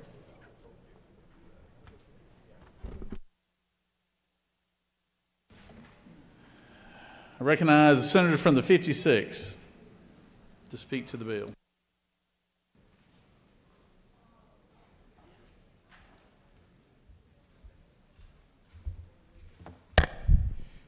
Thank you, Mr. President. Senate Bill 13 codifies work that's already being done by our sheriffs and tax commissioners. As most of us are aware, they typically have some type of an auction on the courthouse steps. Uh, and with the advent of technology, we're a few decades behind giving them the opportunity in law to do that online. Now, some are already doing online because they feel like they have the ability to do that. Uh, this just codifies to allow them to do that. Uh, this does not change the notice requirements. They still have to go out and be published in the county legal organ. It will give more people the opportunity to bid on those items where a lot of us would be at work on a Tuesday from 10 till 4. Uh, and it really streamlines the process and brings us into the 21st century. Uh, if there are no questions, I will yield the well.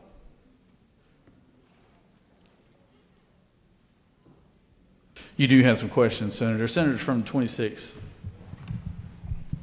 Thank you, Mr. President. The gentleman yield. Yes. Does this change the law uh, where if you buy off the courthouse steps, you can't do anything with the property for a year? Uh, Senator, it actually doesn't apply to any residential or commercial physical property. This would only be things such as, let's say they got a, uh, a sewing machine or a iPad or something, um, it, it, but the actual regular property it does not apply to. In other words, you're saying this doesn't apply to real estate? It does not. Okay. Thank you. You have no further questions, Senator. Thank you. I'd urge your favorable consideration to help out our sheriffs. Does any senator wish to speak for or against the measure? Chair hears none. Is there objection to the previous question being ordered? Chair hears none, and the previous question is ordered.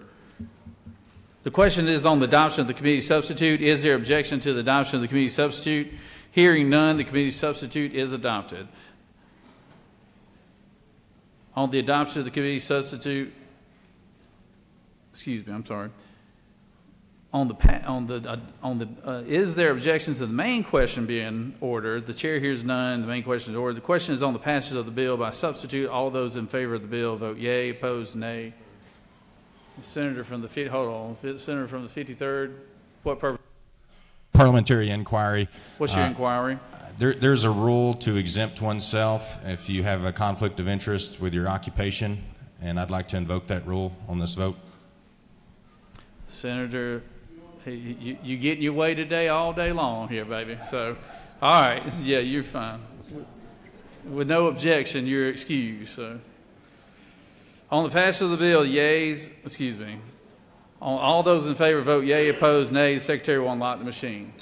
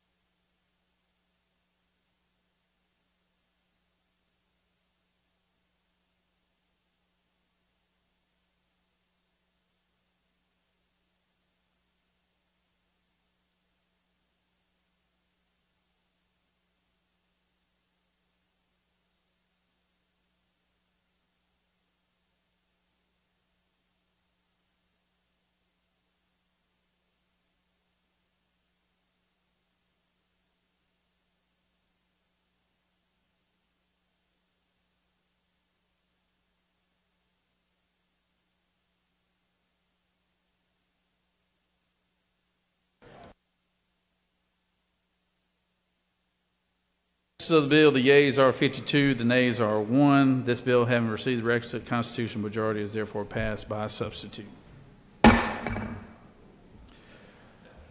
Secretary Reed, Senate Bill 22. Senate Bill 22, Vice Senator Kirkpatrick of the 32nd and others, a bill to be entitled an act to amend Chapter 23 of Title II of the Official Code of Georgia annotated relating to hemp farming so as to amend a definition, to amend Chapter 12 of Title 16 of the Official Code of Georgia annotated relating to offenses against public health and morals so as to prohibit the purchase of, sale of, and the offering of samples of hemp products by or to any individual under the age of 18 years old. The Senate Committee on Agriculture and Consumer Affairs recommends that this bill do pass by substitute. Respectfully submitted, Senator Goodman of the 8th District Chairman. Amendment 1. Recognize Senator from 32nd.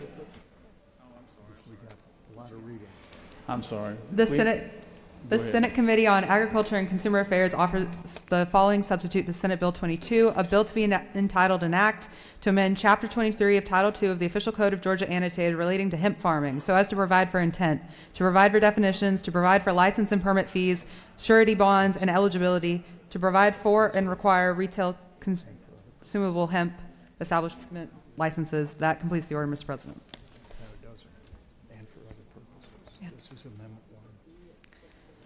Senator Summers of the 13th District and others offer the following amendment, Amendment 1, to amend Senate Bill 22 by amending lines 27 and 28 to read as follows.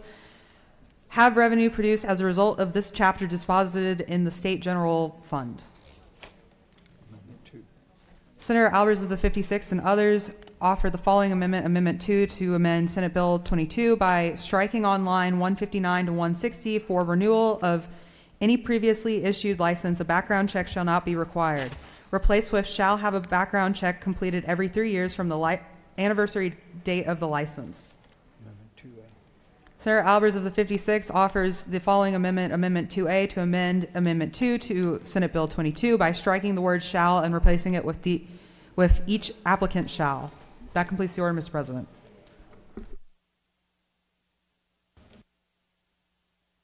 Now I recognize the senator from the 32nd to speak to the bill.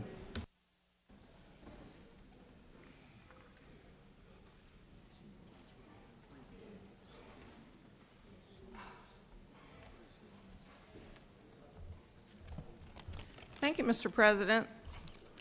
This bill relates to hemp products that were made legal by the 2018 Federal Farm Bill with a concentration of less than 0.3% THC. Since that time, there's been a proliferation of the sale of products synthesized from hemp, including Delta 8 and other cannabinoids that can be psychoactive. These products are currently being sold in Georgia without any regulation for any age. This is completely separate from either medical marijuana, which can go up to 5% THC, or recreational marijuana. Completely different issue.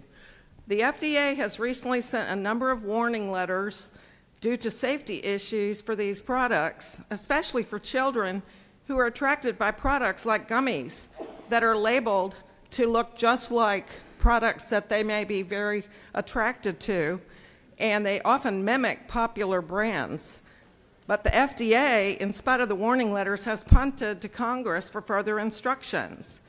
So I have with me a stack of articles outlining the many health issues that have arisen and the fact that especially kids have ended up in the hospital. Poison control calls have gone through the roof related to these products, and there's even been one pediatric death that I'm aware of. So hemp derived products are currently sold in both brick and mortar retailers, gas stations, convenience stores, and online. There are no safeguards in place to reduce potential harm to consumers. 21 states have enacted legislation to either restrict or ban these products, and others have bills in play right now. These products are synthesized by chemical reactions which can involve a number of toxic byproducts, such as heavy metals, Currently, we have no standards for testing for these byproducts. Recent studies have shown that only 25% of these products in retail stores actually contain the amount of THC that is on the label, and we have no labeling standards. We also have no age restriction for these products.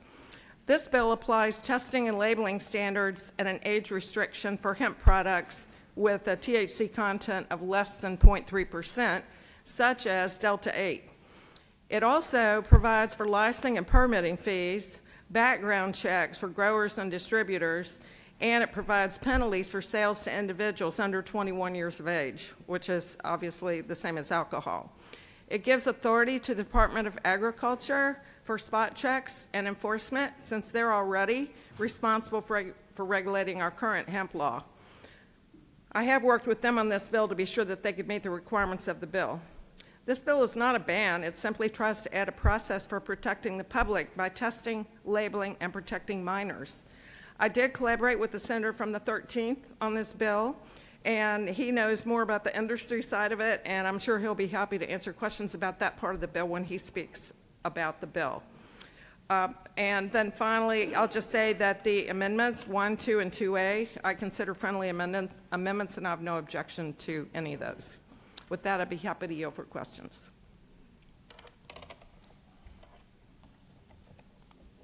You do have a couple questions, uh, Senator. Actually, are you wishing to speak to your amendment? Okay, you have no questions, Senator. Um, as, as I mentioned, I'm, I'm actually, I have no objection to the amendments, but I'm happy to hear the authors of the amendments speak to the amendments if they so desire.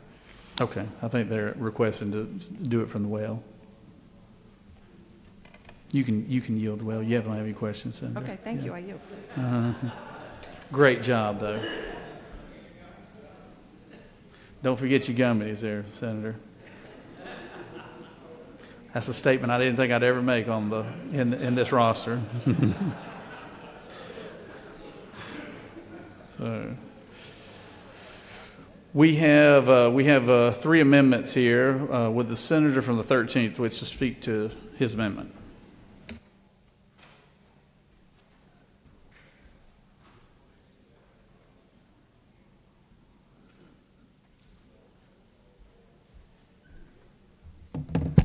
Thank you, Mr. President. Morning, colleagues. Uh, I want to thank the senator from 32nd for the hard work she's put in on this bill here. Our hemp bill, in my opinion, that we have was disastrous, and we've basically gotten together and written a hemp bill that I promise you that we think we've dotted all the i's, we think we've crossed all the t's to make sure the products we get in Georgia are safe, and that's the bottom line. We want safe products. We want to make sure that when you go into a quickie store and you're not 10 years old, or if you are 10 years old, you can't buy products that say 100 milligrams of of CBD or 100 milligrams of this, 100 milligrams of that, because I'll assure you it's all BS because if you took 100 milligrams of that stuff, you couldn't get off the floor. And the problem is there's no testing to go behind any of this stuff. There's no paperwork on this kind of stuff. And it's coming in from China. It's coming in from everywhere. And we pull these gummies off the shelf and we test these gummies in independent labs. And they find out these gummies are filled with nitrates, phosphates, fish oils, anything you can possibly think of. And therefore, they're not what I would consider pure gummies. Georgia grown stuff is pure. It's tested. It's, it's, it's what we need to be putting out there for people to use. We've also limited the amount of, of, of, of uh, milligrams can be put in a package to no more than 500 milligrams. Well, I mean, that's a whole package, that's a whole month's worth of product.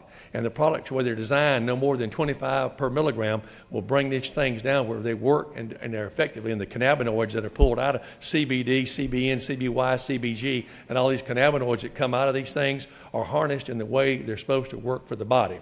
I want to push one more thing out there to you to show you'll know. We moved the age to 21, as Senator from 32nd said, because 21 is obviously the time you can you buy uh, alcohol. Testing requirements on all the products. Each company that sells CBD will pay for a license, and this that company will also have to show testing on these products that they have in their store. So that means every C store out there, and we don't even know how many of them out there now selling CBD or whatever they want to call it, and whatever their however their mix is. This will give us some checks and balances in the system to bring it back to where we know what we're looking for. We also have opened the door for, uh, we dropped the fees, the licensing fees. This would allow more people to get involved. We were concerned before there were some on, on the other side of the aisle that minorities were not having a chance to be involved. This allows that to happen. We dropped the fees, we made it easier for everybody to be involved. We also opened the doors for farmers to be able to grow a type of hemp that can be used in things like brick, construction work, uh, boards, siding, uh, concrete work. We're talking about using it for clothing. We're talking about using the, the, the ground up stalk for feeds, for fertilizer, you know, excuse me, for horse feeds, for cow feeds, for dog food that can be mixed with hemp. I mean, we're doing test markets right now on dog food, believe it or not, that, you know, it's not allowed to be sold yet. But dog people that have come in and they're, signed up to be tested, they said their dogs will be 8, 10 years old that have seriously moving around. Their dogs are like, you know, young dogs again. They're moving good again. This thing has so much possibility out there. And the last thing that we've done, guys, is, and I want to reiterate this one more time, is safety. This is what the bill's about. The bill is about safety of making sure when someone goes and buys a product, at least there's some paperwork behind it to know what you're getting. Because I'll assure you, and I don't want to use the word lightly here, most of the stuff you're getting today is China trash. Most of it. We don't know where it comes from, what they bring in by the tons. And they can bring it into Georgia, and there's absolutely zero checks and balances. Absolutely zero checks and balances. And I could go on and explain to you about it takes a CBD oil, it takes one part of CBD oil and one part of THC to make medical marijuana. And that's a whole other world, but that's where it's got to be. So you have to have the CBD to be able to make the medical marijuana. Those are parts that re- require to make the cannabinoids do what they say and fire the receptors in the body to accept the cannabinoids. Those are type things that we can get into and talk about. That's not in this bill, but the reality of it is, is that's why hemp is so important. And the last thing for farmers, and I'll speak about the ag department, this could be an entirely new crop for growing for the processes of what I mentioned before, an example of the building industry. And these could be products that grow without, quote, quote, the flowering type that you hear about all the time for the purpose of getting the trichomes and stuff out of the buds. But it could be a whole new crop that they could literally grow on their farms and almost have to use zero fertilizer and they can just about harvest a crop twice a year. So there's a lot of things that's going to come from this as we move forward to it. But this is the first step, and I'm, I'm also okay with all the amendments and ask for your favorable vote on SB 22. Thank you kindly and appreciate you. Mr. President, no question. I yield the will. You do have a question. Senator from 46. He doesn't, I got. Thank you, Mr. President. Will the senator yield? I'm dangerous to say yes, but go ahead. I'm uh, going to direct your attention to the bottom of page seven, lines 174. Are you on the and green 1se- one? 175, page seven on your committee sub. Current law prohibits a person that's been convicted of either a misdemeanor or a felony involving drugs to be a licensee. You have stricken through the, the prohibition against people that have been convicted of a misdemeanor involving the sale or trafficking of controlled substances. So is your intent now to allow drug dealers to be able to be licensed on? No, sir, not growers? intent to allow drug dealers to be a license on, but misdemeanor effects, not the felonies. If you notice, felonies is still in there. Even though it would involve the sale or trafficking of a controlled substance? I would suggest to you that that is not the intent, the way you're, you're saying it. The, the, the issue is, are you saying that if you're a convicted felon, you know, you're not going to be able to do it? If it's a misdemeanor, that was struck, and you're correct. Will the gentleman further yield? Yes. On page three, lines 47 and 48, your bill adds language that hemp products shall not be considered controlled substances solely due to the presence of hemp or hemp-derived cannabinoids. Cannabinoids. So in other words, that in the definition is THC. Is this going to change our criminal law that currently holds THC to be a controlled substance and, and punished uh, as a felony offense? No, Senator, not that I'm aware of in any form or fashion. We're still bound by our 0.3 percent as we, as we all passed before. Okay. Thank you. Senator from 41st, you have a question? Senator, do you yield? Of course. Senator, isn't it true that there is no such thing as a misdemeanor for trafficking drugs in this great state of Georgia? Senator knows of what she speaks. Thank you. Thank you. Do you further yield? Certainly. Senator, I noticed that on line uh, 154, you struck uh, $5,000 for the cap of the maximum license and brought it down to $1,000. Is that correct?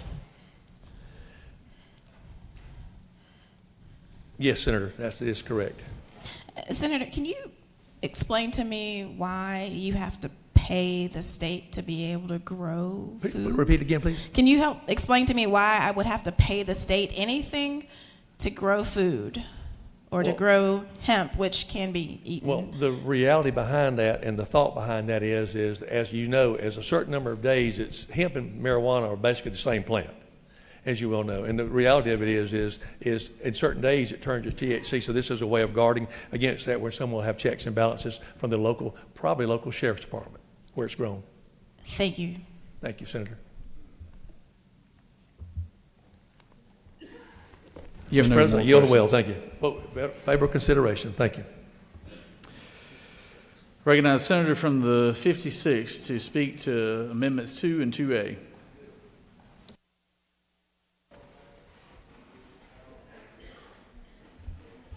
Thank you, Mr. President. I want to thank the bill's authors for allowing me to work on this. 2A is actually just a Scrivener's error. This is just going to say that every three years from the anniversary date of getting the license, that a background check will still be performed. Uh, while I'm here, though, I want to thank the senator from the 6th. There's actually another area of this bill we need to do the exact same thing, uh, and he is scribing that right now. And uh, again, it'll be the exact type of language just to make sure that a background check is being conducted every three years from the anniversary date of the issuance. So, every three years. Any questions? Uh, You do the have a question, Senator. Senator from the 41st. Thank you, Mr. Speaker. Um, thank you, Mr. uh, Chairman. I'm wondering, can you, uh, do you have a sense of how much this is going to cost the department in order to run these background checks every three years on people? Uh, I do not know uh, what the cost would be. Okay, and is there any, has the department been consulted about the administrative burden that this would bring on the department if they have to do this every three years? Well, I think that they're already going to perform that for all of the stores that are selling that, so I believe there'll be a process put in place. Uh, we have not specifically talked to the department because the amendment just uh, came out of the Senate today. However, I think it's prudent uh, that anybody who is in the sale of something that just not too long ago we considered a, a narcotic should have a background check every three years, and that's reasonable. Certainly. Do you further yield? I yield. Senator, isn't it true that I believe that background checks are important? However, I am concerned about the cost burden that this might have on the department uh, because the cost of the background check is not on the grower or the processor, but the cost falls on the shoulders of the department. And, and Senator, I think uh, when the uh, two bills authors uh, between the, the senator from the 32nd and the 13 came out, they talked about how this will uh, increase the ability for uh, both growers uh, and sellers to generate more revenue. And I think if we took a portion of additional revenue to assure that no criminal activity took place, that's a pretty good use of funds. Thank you, Senator.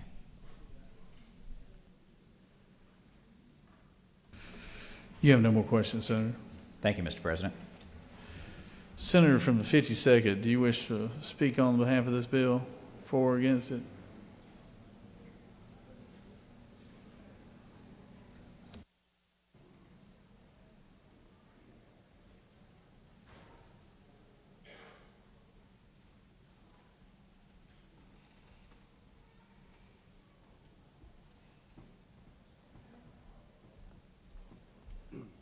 Mr. President. Um, I think I'm generally supportive of this bill. Um, Our good friend, um, now Commissioner of Agriculture, was wanting to increase hemp farming and put this forth, and while we said medical marijuana was 5%, that this would be 0.3%.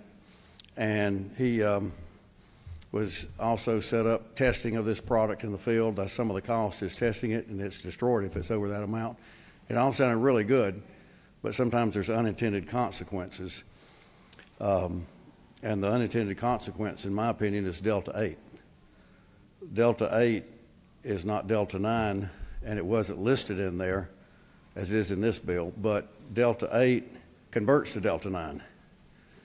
I had a uh, constituent back home sometime back who was, their uh, son had come home and he was slurry and red eyed and uh, staggering around a little bit, and they were trying to understand what was going on. And he um, told them finally what he had done, and they came to me. Well, you know, I'm like, my first thought was this is illegal.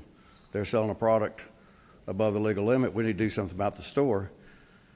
Then come to find out it's Delta 8 that uh, was in the product and is not illegal. Delta 8 is not as potent as Delta 9 it's about half as potent because it doesn't all convert to Delta 9.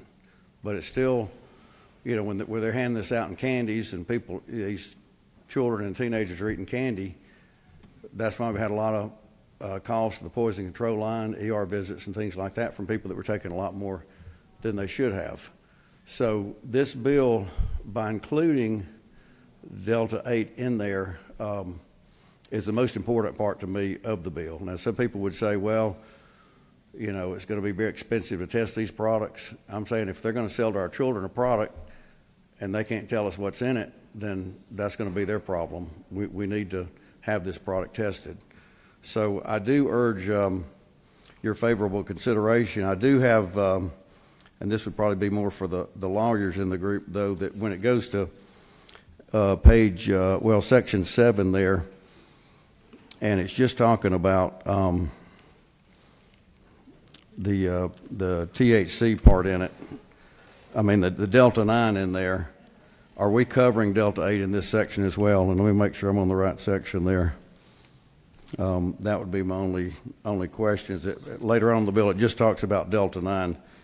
And I want to make sure that in this bill, it makes it abundantly clear that Delta 8 is treated exactly the same as Delta 9. Delta 9 is illegal. Um, and that was the intent that it could only be a 0.3% level or more. Delta 8 slipped by, and, and to me, that's the biggest problem we've got and the most important reason to vote for this bill. With that, I would urge your favorable consideration of this bill. Can answer any questions if need be. You have no questions, Senator. Thank you.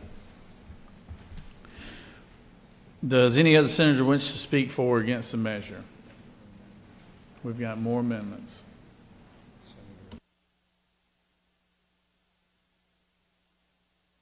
Got another amendment late coming here, so Secretary, read the amendment. Senate Amendment three, uh, Senator Esteves of, of the six, um, and Albers of the 56 offer the following amendment, Amendment 3, to amend the S- Senate Committee substitute to Senate Bill 22 by striking lines 188 to 190 and inserting in lieu thereof the following permit for renewal and any previously issued permit such Such criminal background check or federal criminal history report shall be required for any individual applicant of key participant every three years from the anniversary date and the license. That completes the order, Mr. President. I recognize the senator from the sixth to speak to the amendment.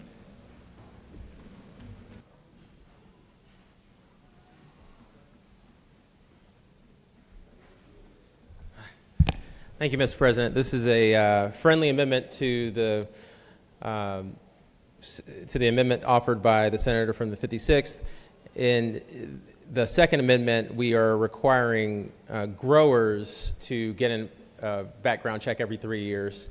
If we're going to do that, it's only fair that we do that for processors of the hemp as well. Uh, as currently stated, the amendment would only require growers to get those background checks every three years. This third amendment would require that processors do the same thing. So holding everyone to the same standard, which is what I think we did during the, the Ag Committee meeting. You have no questions, Senator. I yield the will. Thank you. Does any other senator wish to speak for or against the measure? Chair hears none. Is there objection to the previous question being ordered? And I, I re- chair hears none. I recognize the senator from the 32nd to close debate.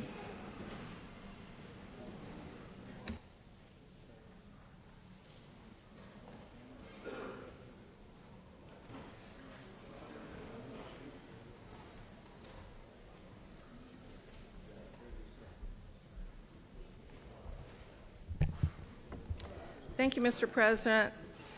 Um, First of all, I would say that the most recent amendment from the senator from the six is acceptable from my standpoint.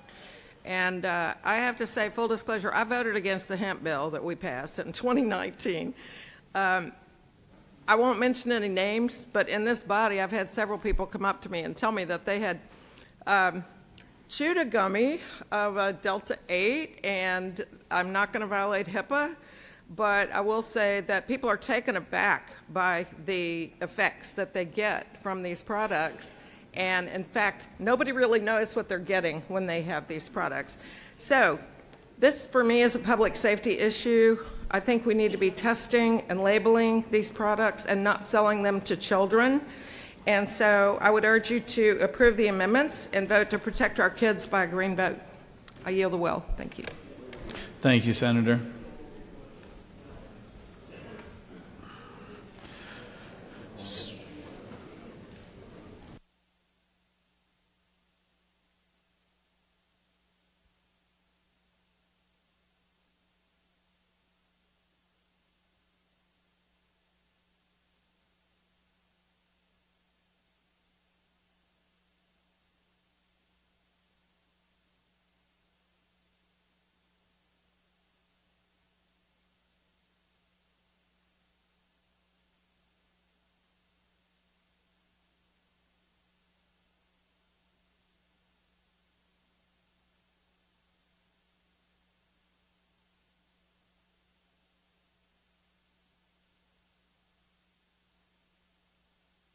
Senator from the 32nd, could you approach, please?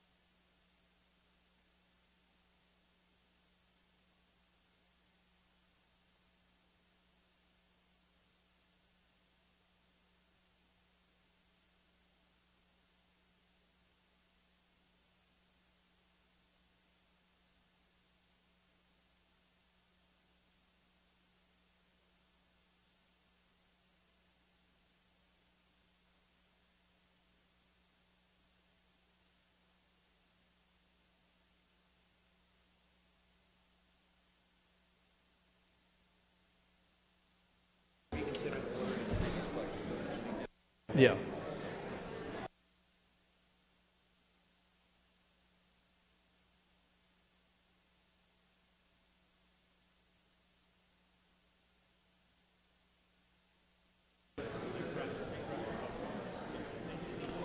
I recognize the senator from the 56. Thank you, Mr. President. I move we reconsider the ordering of the previous amendment. Senator, Senator has moved that we reconsider the order. So where we are right now is we had already called uh, for the order to be considered, the previous question to be considered, and then we had a late arriving amendment. Uh, so because we had already called for the previous question to be ordered, um, we now have to uh, either object or upset, accept a friendly amendment that the senator from the 56 is asking that we consider. So, so if there is no objection, the, the previous order, the previous question will, will be reconsidered. Is there objection? Without objection, the previous question is, is now in- reconsidered. So we have another amendment, a late arriving amendment from the senator from the 50th, which put us in this posture and is and, and it is uh, going to be uh, distributed on your desk and i'll let the senator speak to it again Se- secretary read the caption Senator Hufstetler of the 52nd offers the following amendment, Amendment 4, to amend sub- Senate Committee substitute to Senate Bill 22 by adding Delta 8 THC or before Delta 9 THC on line 275, 280, and on both places on line 281. That completes the order, Mr. President.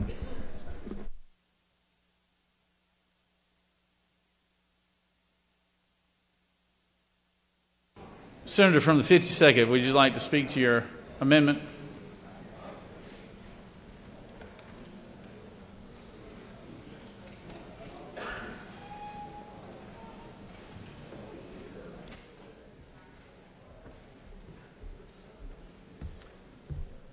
Thank you, Mr. President. In uh, talking with uh, some of those in the, in the legal area about my question, they had uh, assured me that that would take care of my concern that Delta 8 is not being treated the same as Delta 9. So it's a friendly amendment. Maybe this bill covers it. I'm not sure it's clear myself. They didn't think it was clear, and so this would just, um, I think, make it abundantly clear, and that's the amendment. And I hope you'll support the amendment in the bill.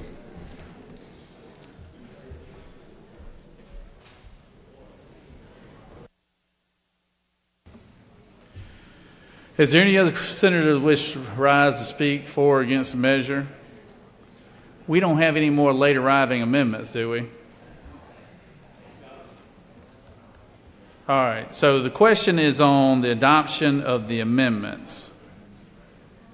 So we're going to go with the, start with the Amendment 1, which there's no objection from the author. Is there objection for Amendment 1? Without objection, Amendment 1 is adopted. Now, the, next amendment, Amendment 2A, which I believe the author has no objection to as well, is there objection to Amendment 2A? Without objection, Amendment 2A is adopted. Which puts us at Amendment 2. Is there objection to Amendment 2? We've got an objection from the senator from the 28th. All, uh, all those in favor of Amendment 2 signify by voting the yay switch. All those opposed, vote nay. Unlock the machine.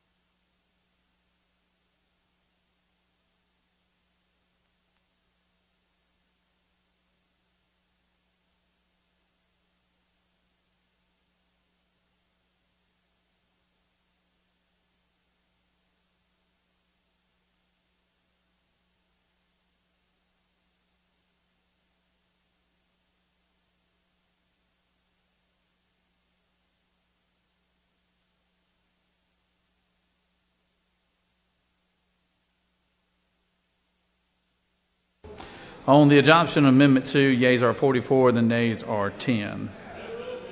All right, moving on to Amendment 3. Amendment 3. Is there objection to Amendment 3? Senator from the 36, you, what, what I- I- purpose you rise? I withdraw. You withdraw. There's no objection on Amendment 3. Without objection, Amendment 3 is adopted. Question on Amendment 4 now. Amendment 4, there is objection. Senator from the 41st has objected. Those who are in favor of the amendment signify by voting the yea switch. Those opposed, nay. Secretary, unlock the machine.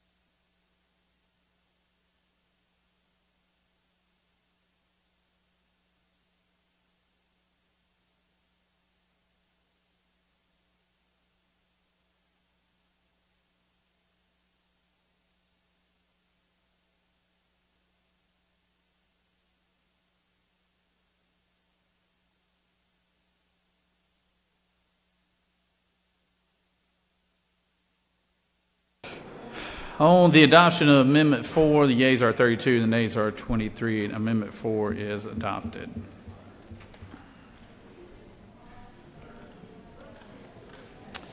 The question is on the adoption of the committee substitute as amended. Is there obje- objection to adoption of the committee substitute as amended?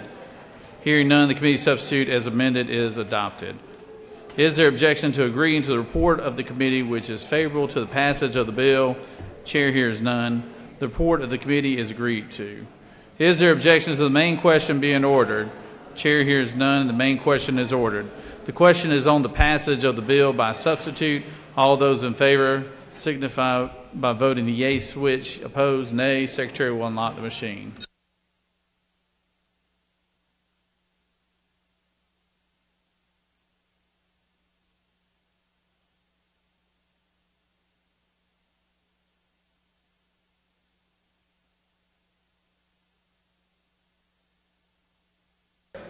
Senator from the 14th, for what purpose do you rise? Mr. President, Parliament inquiry. Uh, thank you, Mr. President. Is it not true that as currently constituted post amendment, this bill now bans Delta 8? Is it not Sen- true that this bill bans Delta 8, Mr. President? Sen- Senator Snow.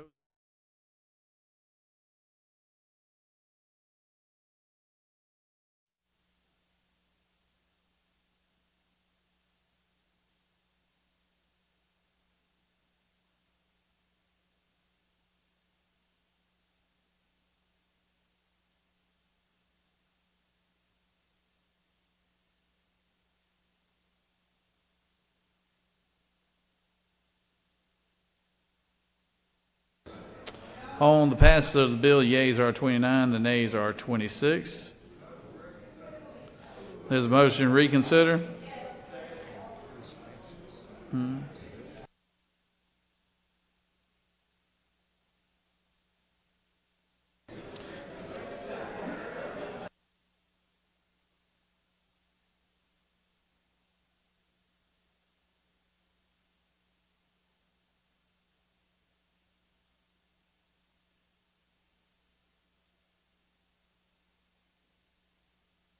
All right. The, the, the bill has passed with the yeas of 29, nays of 26. However, Senator from 25th, what purpose do you rise? Withdraw the reconsideration, Mr. President. Withdraw the reconsideration, okay. All right. Moving on. Senate Bill 61. State your inquiry. Thank you, sir. May we- we, motion to reconsider. You have a motion to reconsider. Is there a second? There's a second.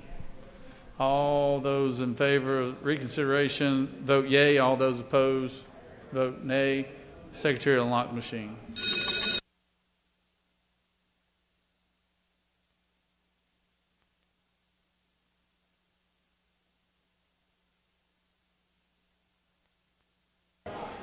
Senator from 41st, what purpose do Parli- you rise? Parliamentary inquiry. State your, state your purpose. Isn't it true that because of the amendments that were just made, we are now unclear about what this bill actually does as it relates to Delta 8? Senator's passionate about what she speaks.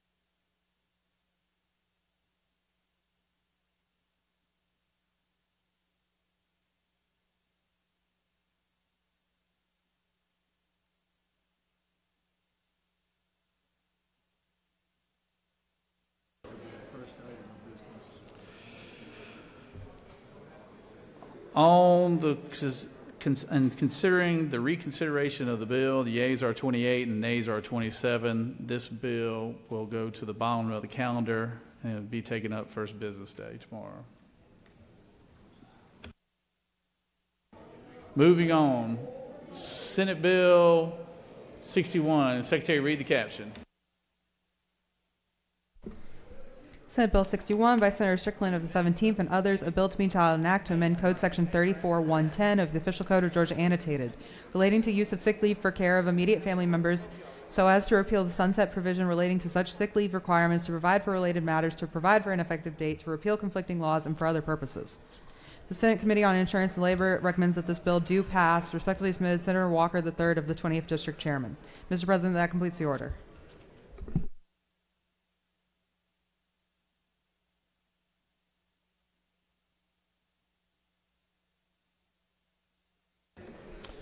Recognize the senator from the 17th to speak to the bill.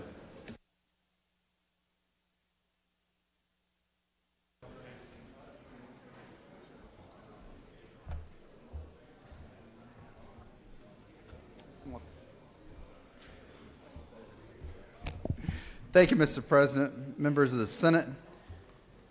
Senate Bill 61 just eliminates the sunset on a law we passed back in 2017 and extended in 2020 that deals with sick leave. It allows individuals that have accrued sick leave to use some of their leave to care for others in their family that are also sick. When I was in the House in 2017, I presented this original bill. At the time, I didn't have any kids yet. Now I've got a five year old and a three year old. And I know that when your child is sick, your whole house can shut down because of that. And the same is the case, of course, if you're caring for an elderly parent or a special needs child as well. Being the number one state in the country in which to do business also means being the number one state to work and raise a family. And while we have to be careful um, looking over the shoulder of our businesses, there are certain things that are just the right thing to do, and should be a standard across our state. I ask for support of Senate Bill 61 to make this law permanent. I'll be happy to answer any questions. Senator from 42nd, do you have a question? Senator from the 42nd. You have a question? Your light's on.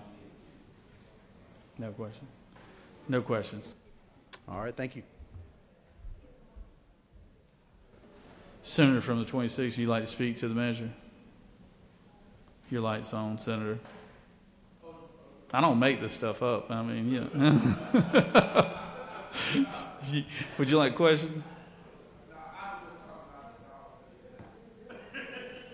The dog doing the what? Oh, okay, all right, all right. You are you still in the last last bill there? Okay.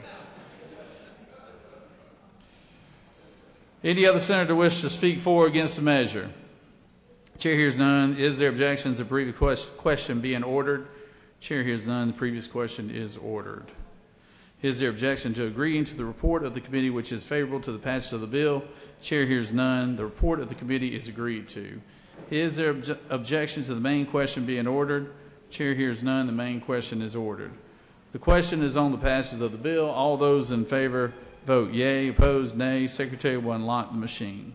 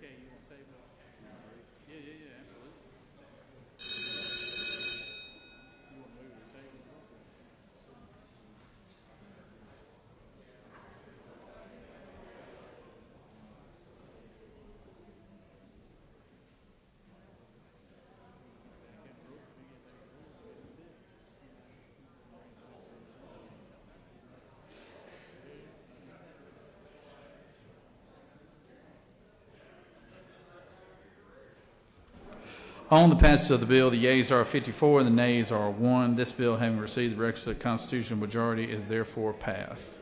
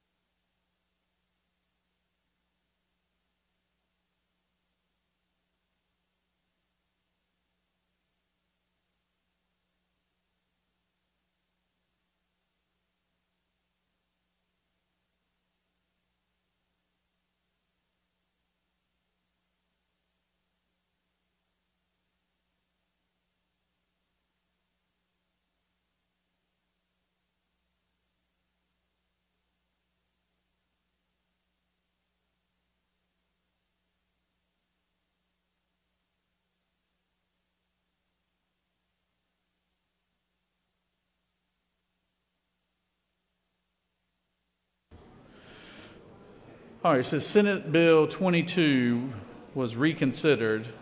It moved to the bottom of the rules calendar today.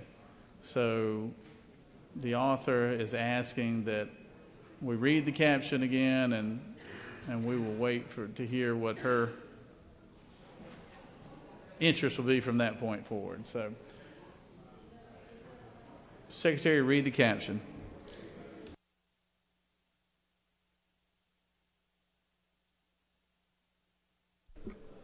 Senate Bill 22 by Senator Kirkpatrick of the 32nd and others, a bill to be entitled an act to amend Chapter 23 of Title II of the Official Code of Georgia annotated, relating to hemp farming so as to amend a definition to. That completes the order, Mr. President. Recognize the Senator from the 36, 32nd, excuse me. Thank you, Mr. President. I move to table this bill. The Senator has moved to table the bill, which will put it into the Rules Committee.